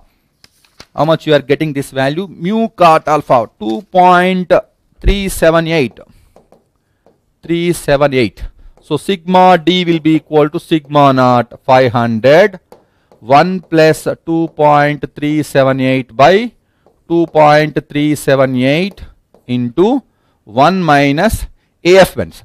See if is given areas pi by 4 d square, pi by 4 d naught square. So 2 times will be coming in terms of what diameter. So if you consider DF, what is that friends? Uh, uh, final diameter is how much? 15 by initial diameter is 20 whole power 2 times B. What is the B value here? 2 times B because why 2? D square na? D square means 2 times I am considering here. So this is a 2.378. 2.378. So what is the sigma D? What is the sigma D? Please tell me. Anybody has calculated? Analysis of extrusion, analysis of rolling is not there in gate examination. Analysis is not there. Only mains uh, ESE examination it is there. Analysis of extrusion, analysis of rolling is not included. Only formulas is required. Formulas will be required. What is the sigma d friends here? Sigma d will be equal to 529 point 529.17 right? Uh, megapascals. Megapascals. Then we need to find out what? Right uh, sig what is this kind friends here? Uh, force will be equal to sigma d multiplied by which area? Final area friends in drawing operation we are applying the force please observe through the die if the workpiece is passing through the die right we are applying the force or pressure at the exit. So final area we have to consider friends. Drawing operation no? Final area we have to find out. So if you want to find out the power drawing force multiplied by what? Velocity. Right? So power will be equal to fd that is sigma d 529.17 multiplied by pi by 4 uh, df square that is 15 square multiplied by velocity. What is the velocity fancy has given? Velocity 120 meters per minute. 120 meters per minute divided by 60 so that we are going to get uh, in terms of what? Is asking the units are kilowatt na? Kilowatt means divided by 1000 so divided by 1000 so that you are going to get kilowatt. So what is the power you are getting friends? What is the power what is the power? 187.147 187.147 kilowatt. Is correct? Please check it. Any difficulty? Yeah. So option is uh, c. 187 option is c. Very good. 187 yeah yeah. Correct correct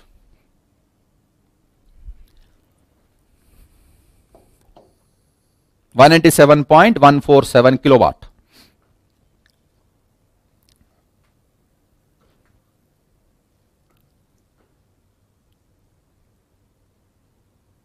Okay. Next, we'll move on to the next question. Friends, here, right. Now, the friends, here, this type of questions you can observe generally. Theory questions are coming. Now, in process, which type of uh, stress will be acting? This type of stress will be acting here. We have to observe. Forging means, friends, here it is a compressive type of loading. Pressure will be applied. Pressure is always compressive. So, forging means compressive. So, one is a C. Forging means compression then punching punching and blanking operation cutting will be there shearing action can be takes place shearing will be there tough shear strength we are considering now third one wire drawing operation it is a tension wire drawing operation it is a tension fourth one friends uh, sheet bending bending operation sheet bending means bending will be there. So what is the option friends here? Cdab cdab is correct now right? CDAB, right, right, good, please think up. So what is the process, what is the, you know, the stress developed in this material, you know, process means we have to consider like this. Major portion, major stress we can consider here. Now at the contact of the die, there is a possibility of shear may be there. Die and the workpiece shear may be there, that is, uh, know, less when compared to tension. So in uh, drawing operation, more tension will be there. Major stress is what? Tension. Right. For a blanking operation, circular disc of uh, produced, the radial clearance is 0.2 and die allowance is, please look at friends, this type of questions are more common. Can you please think of, the punch size will be. It is which type of operation here, please look at. Which type of operation friends? It is a blanking operation or is it which operation? It's a blanking operation. Blanking operation. Blanking operation which is exact. Die size is exact die is exact die is exact die is exact okay so die size will be equal to so die uh, size will be equal to exact size this will be equal to how much? 80 mm so we need to provide clearance on where? Punch size. So punch size will be equal to d minus 2c plus allowance because he has given uh, the allowance is given. This allowance we have to add for the clearance right this allowance has to be added for clearance where C is a radial clearance. So 2 times C means diametrical clearance we can consider, right? Radial clearance is 0.2 mm we has considered. Okay. So die allowance means it is a factor of safety. It is a factor of safety that has to be added to the what clearance, right? Allowance has to be added to this particular clearance. So D minus 2C plus allowance. If allowance is not given, it is D minus 2C simply. It is D minus 2C only. So this is 80 minus 2 into C. How much friends? Uh, this is C is a uh, radial case 0.2 plus allowance is 0.06. So this allowance we are going to provide uh, to accommodate, you know, please think of some burrs, some extra cutting portion will be there. To overcome this burrs, we are going to provide some extra amount of allowance. It's a factor of safety. So what is the punch size friends here? Please think of what is the punch size 79.54. 79.54 mm is the punch size we can consider. Punch size we can consider that is 79.54 mm is the punch size we are going to consider. Right? So in blanking operation die size is die is exact. So clearance is provided on the punch.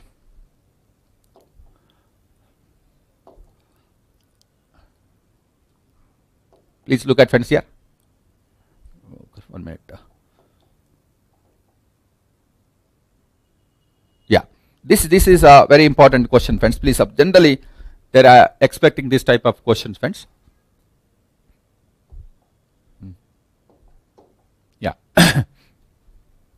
bend allowance friends. The bend allowance, this type of question.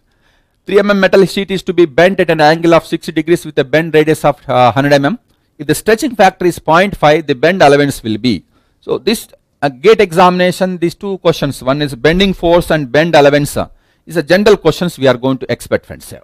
So the bend allowance, bend allowance, bend allowance will be given by friends what is that we are getting alpha r plus kt we can consider friends right so r is what bend radius alpha is in radians friends bend angle in radians bend angle in radians R is bend radius. Alpha is in radians. Right. Next, uh, if you look at R is bend radius. Bend radius. Now T is thickness of the sheet. K is a stretching factor. Stretching factor. Stay, uh, please K is stretching factor. Right stretching factor. So generally friends uh, these values will be given in the problem. Otherwise also you can think of generally if R is uh, greater than 2 times thickness then K will be equal to 0.5. If R is less than 2T K equal to 0.33. This point you have to remember.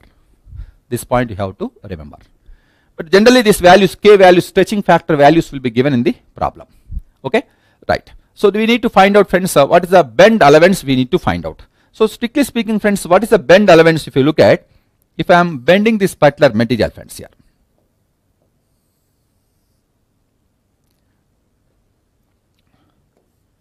So this is the thickness of this workpiece metal we can consider right. So you can consider here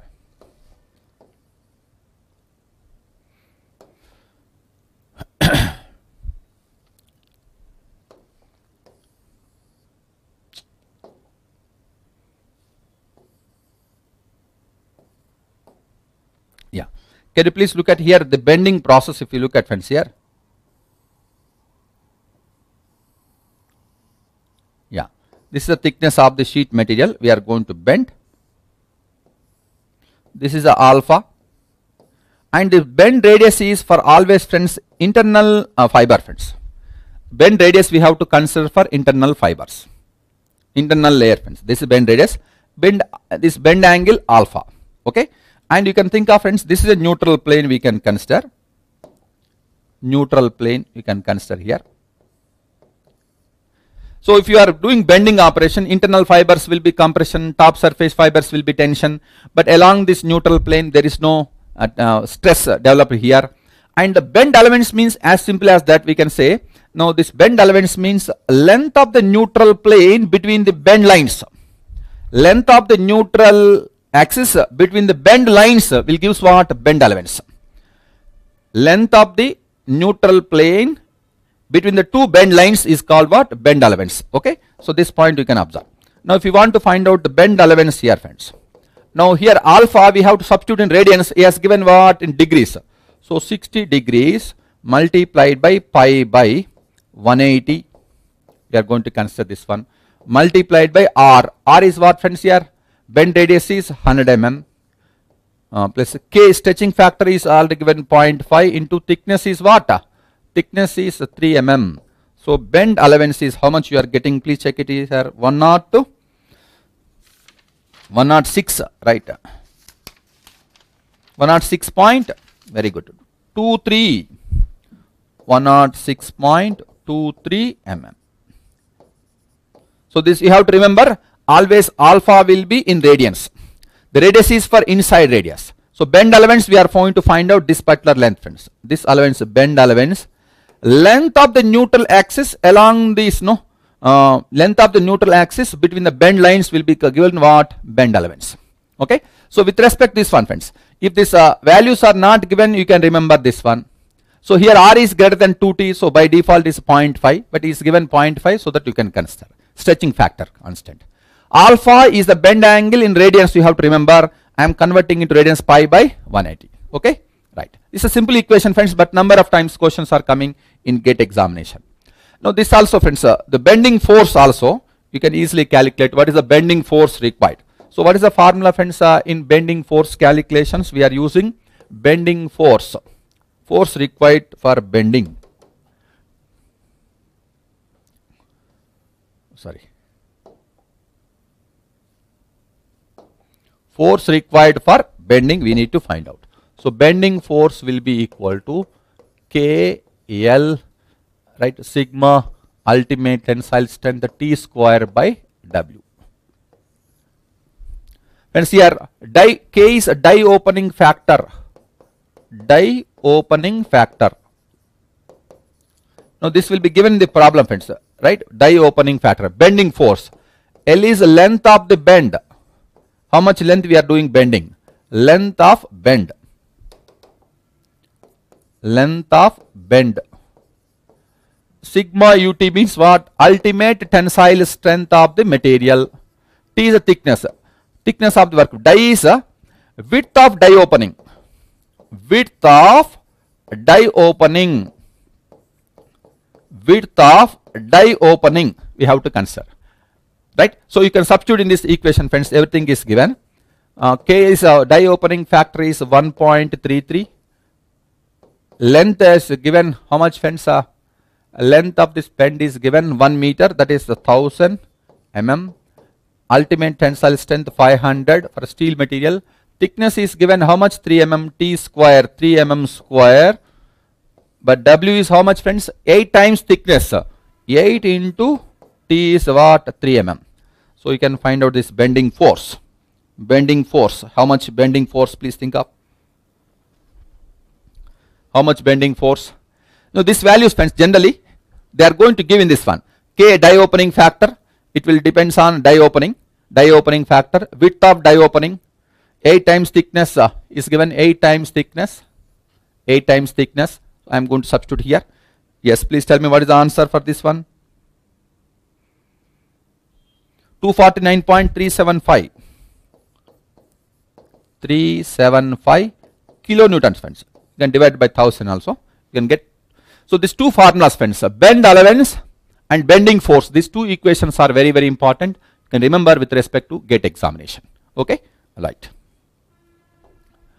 Right friends uh, this is the application of this uh, process and you know the uh, process you can think of friends. The questions uh, practically they are coming like this. Right? Please uh, remember. Forging. What is the application of the forging? Can i say connecting rod where the strength is very high in case of forging. Connecting rod crane hooks headed uh, hexagonal bolts right? Uh, these things are produced by forging. So forging means we can think of friends uh, b connecting rod. Impact extrusion. Impact extrusion collapsible tubes soft material collapsible tubes are produced friends. In medis medical application collapsible tubes are produced by this one. Then rolling. Or rolling we can say rails are produced by rolling. Then welding friends we are discussing pressure vessels are produced by what? Welding. Pressure vessels are produced by welding. Submerged arc welding can be used to produce pressure vessels na? High thickness uh, pressure vessels. So this is the option friends here. Bc da anyone? Yes please check it here. Applications friends. Applications please check it.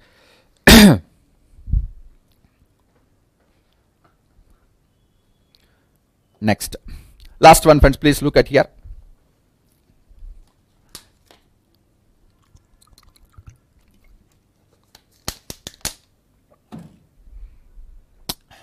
Now this is a multiple select question friends. Msq multiple select question. This time gate examination we are expecting this type of question friends. One uh, please uh, uh, think of this one. Which of the following defects are correctly matched with their corresponding manufacturing process defect and manufacturing process which is the correct please think of. Orange peel effect in deep drawing friends. Due to coarse grain structure rough surface can be produced right? That is called uh, orange peel effect. First statement is correct. Chevron cracking is taking place extrusion at the center. If impurities are packed at the center due to excessive stresses uh, crack will be formed at the center. It is called extrusion. No center line cracking or chevron cracking we can consider. It is extrusion. It is correct arc welding we can say friends undercut. A depression because if you start doing welding by using electrical arc if I am doing welding due to electric arc force initially a depression is created. A cavity is formed at the beginning of this welding. It is called what? Undercut. Right? This one. It is uh, arc welding it is correct. Alligatoring is called what? Rolling. No at this uh, please think of here. If the rolling operation will be takes place there is a possibility of uh, no bifurcation of the sheet into what? Two parts.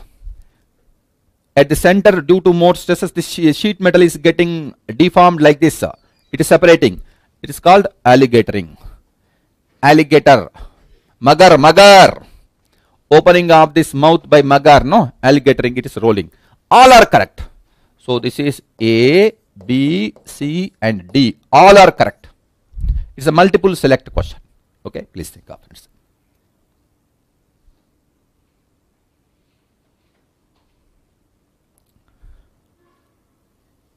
Yeah. now please look at friends here. This is correct. Can you please check it here? Now with this friends, I am going to close the session. Thank you very much uh, for your cooperation. Friends, uh, this only just I have given a brief idea what type of questions are coming, how to approach. Okay. So still we required, no, still you required lot of practice is required. So you can continue your preparation without any tension. You please don't get tension, right? You continue the preparation up to this, no, February 13th, uh, 12th, I think, uh, I'm sorry, 12th, 13th, you give your best uh, in the examination. So God is there to take care of all these things. Don't get tensed because most of the people at the last end, one week or two weeks uh, before that, uh, no, because of the tension, they are going to, no, uh, lose the hopes and you are not in a position to perform well. But please, uh, don't do this one. Up to this, what is the preparation you are continuing? Same preparation you can continue right? New topics don't touch. Now onwards new topics don't touch. Only you can do some revision. Formulas you can go through once uh, practice some numerical questions uh, formulas right? You can revise the things. Known things you can revise. Don't go for new concepts now now onwards okay? Please revise please revise the things and write try to write some tests so that you can improve your speed and accuracy. Don't get tensed. And you can continue this your preparation up to 12th uh, February relax for day. Uh, that day don't uh, read anything night. You can uh, write. Do well in no, February 13th GATE examination. Okay? Wish you all the best my dear friends. Right? You can continue your preparation. Definitely you will get better results. Don't compare with others. Don't get tensed. Don't get tensed. So we have taken i think uh, more time. I am going to close the session. Thank you very much. Wish you all the best. Best of luck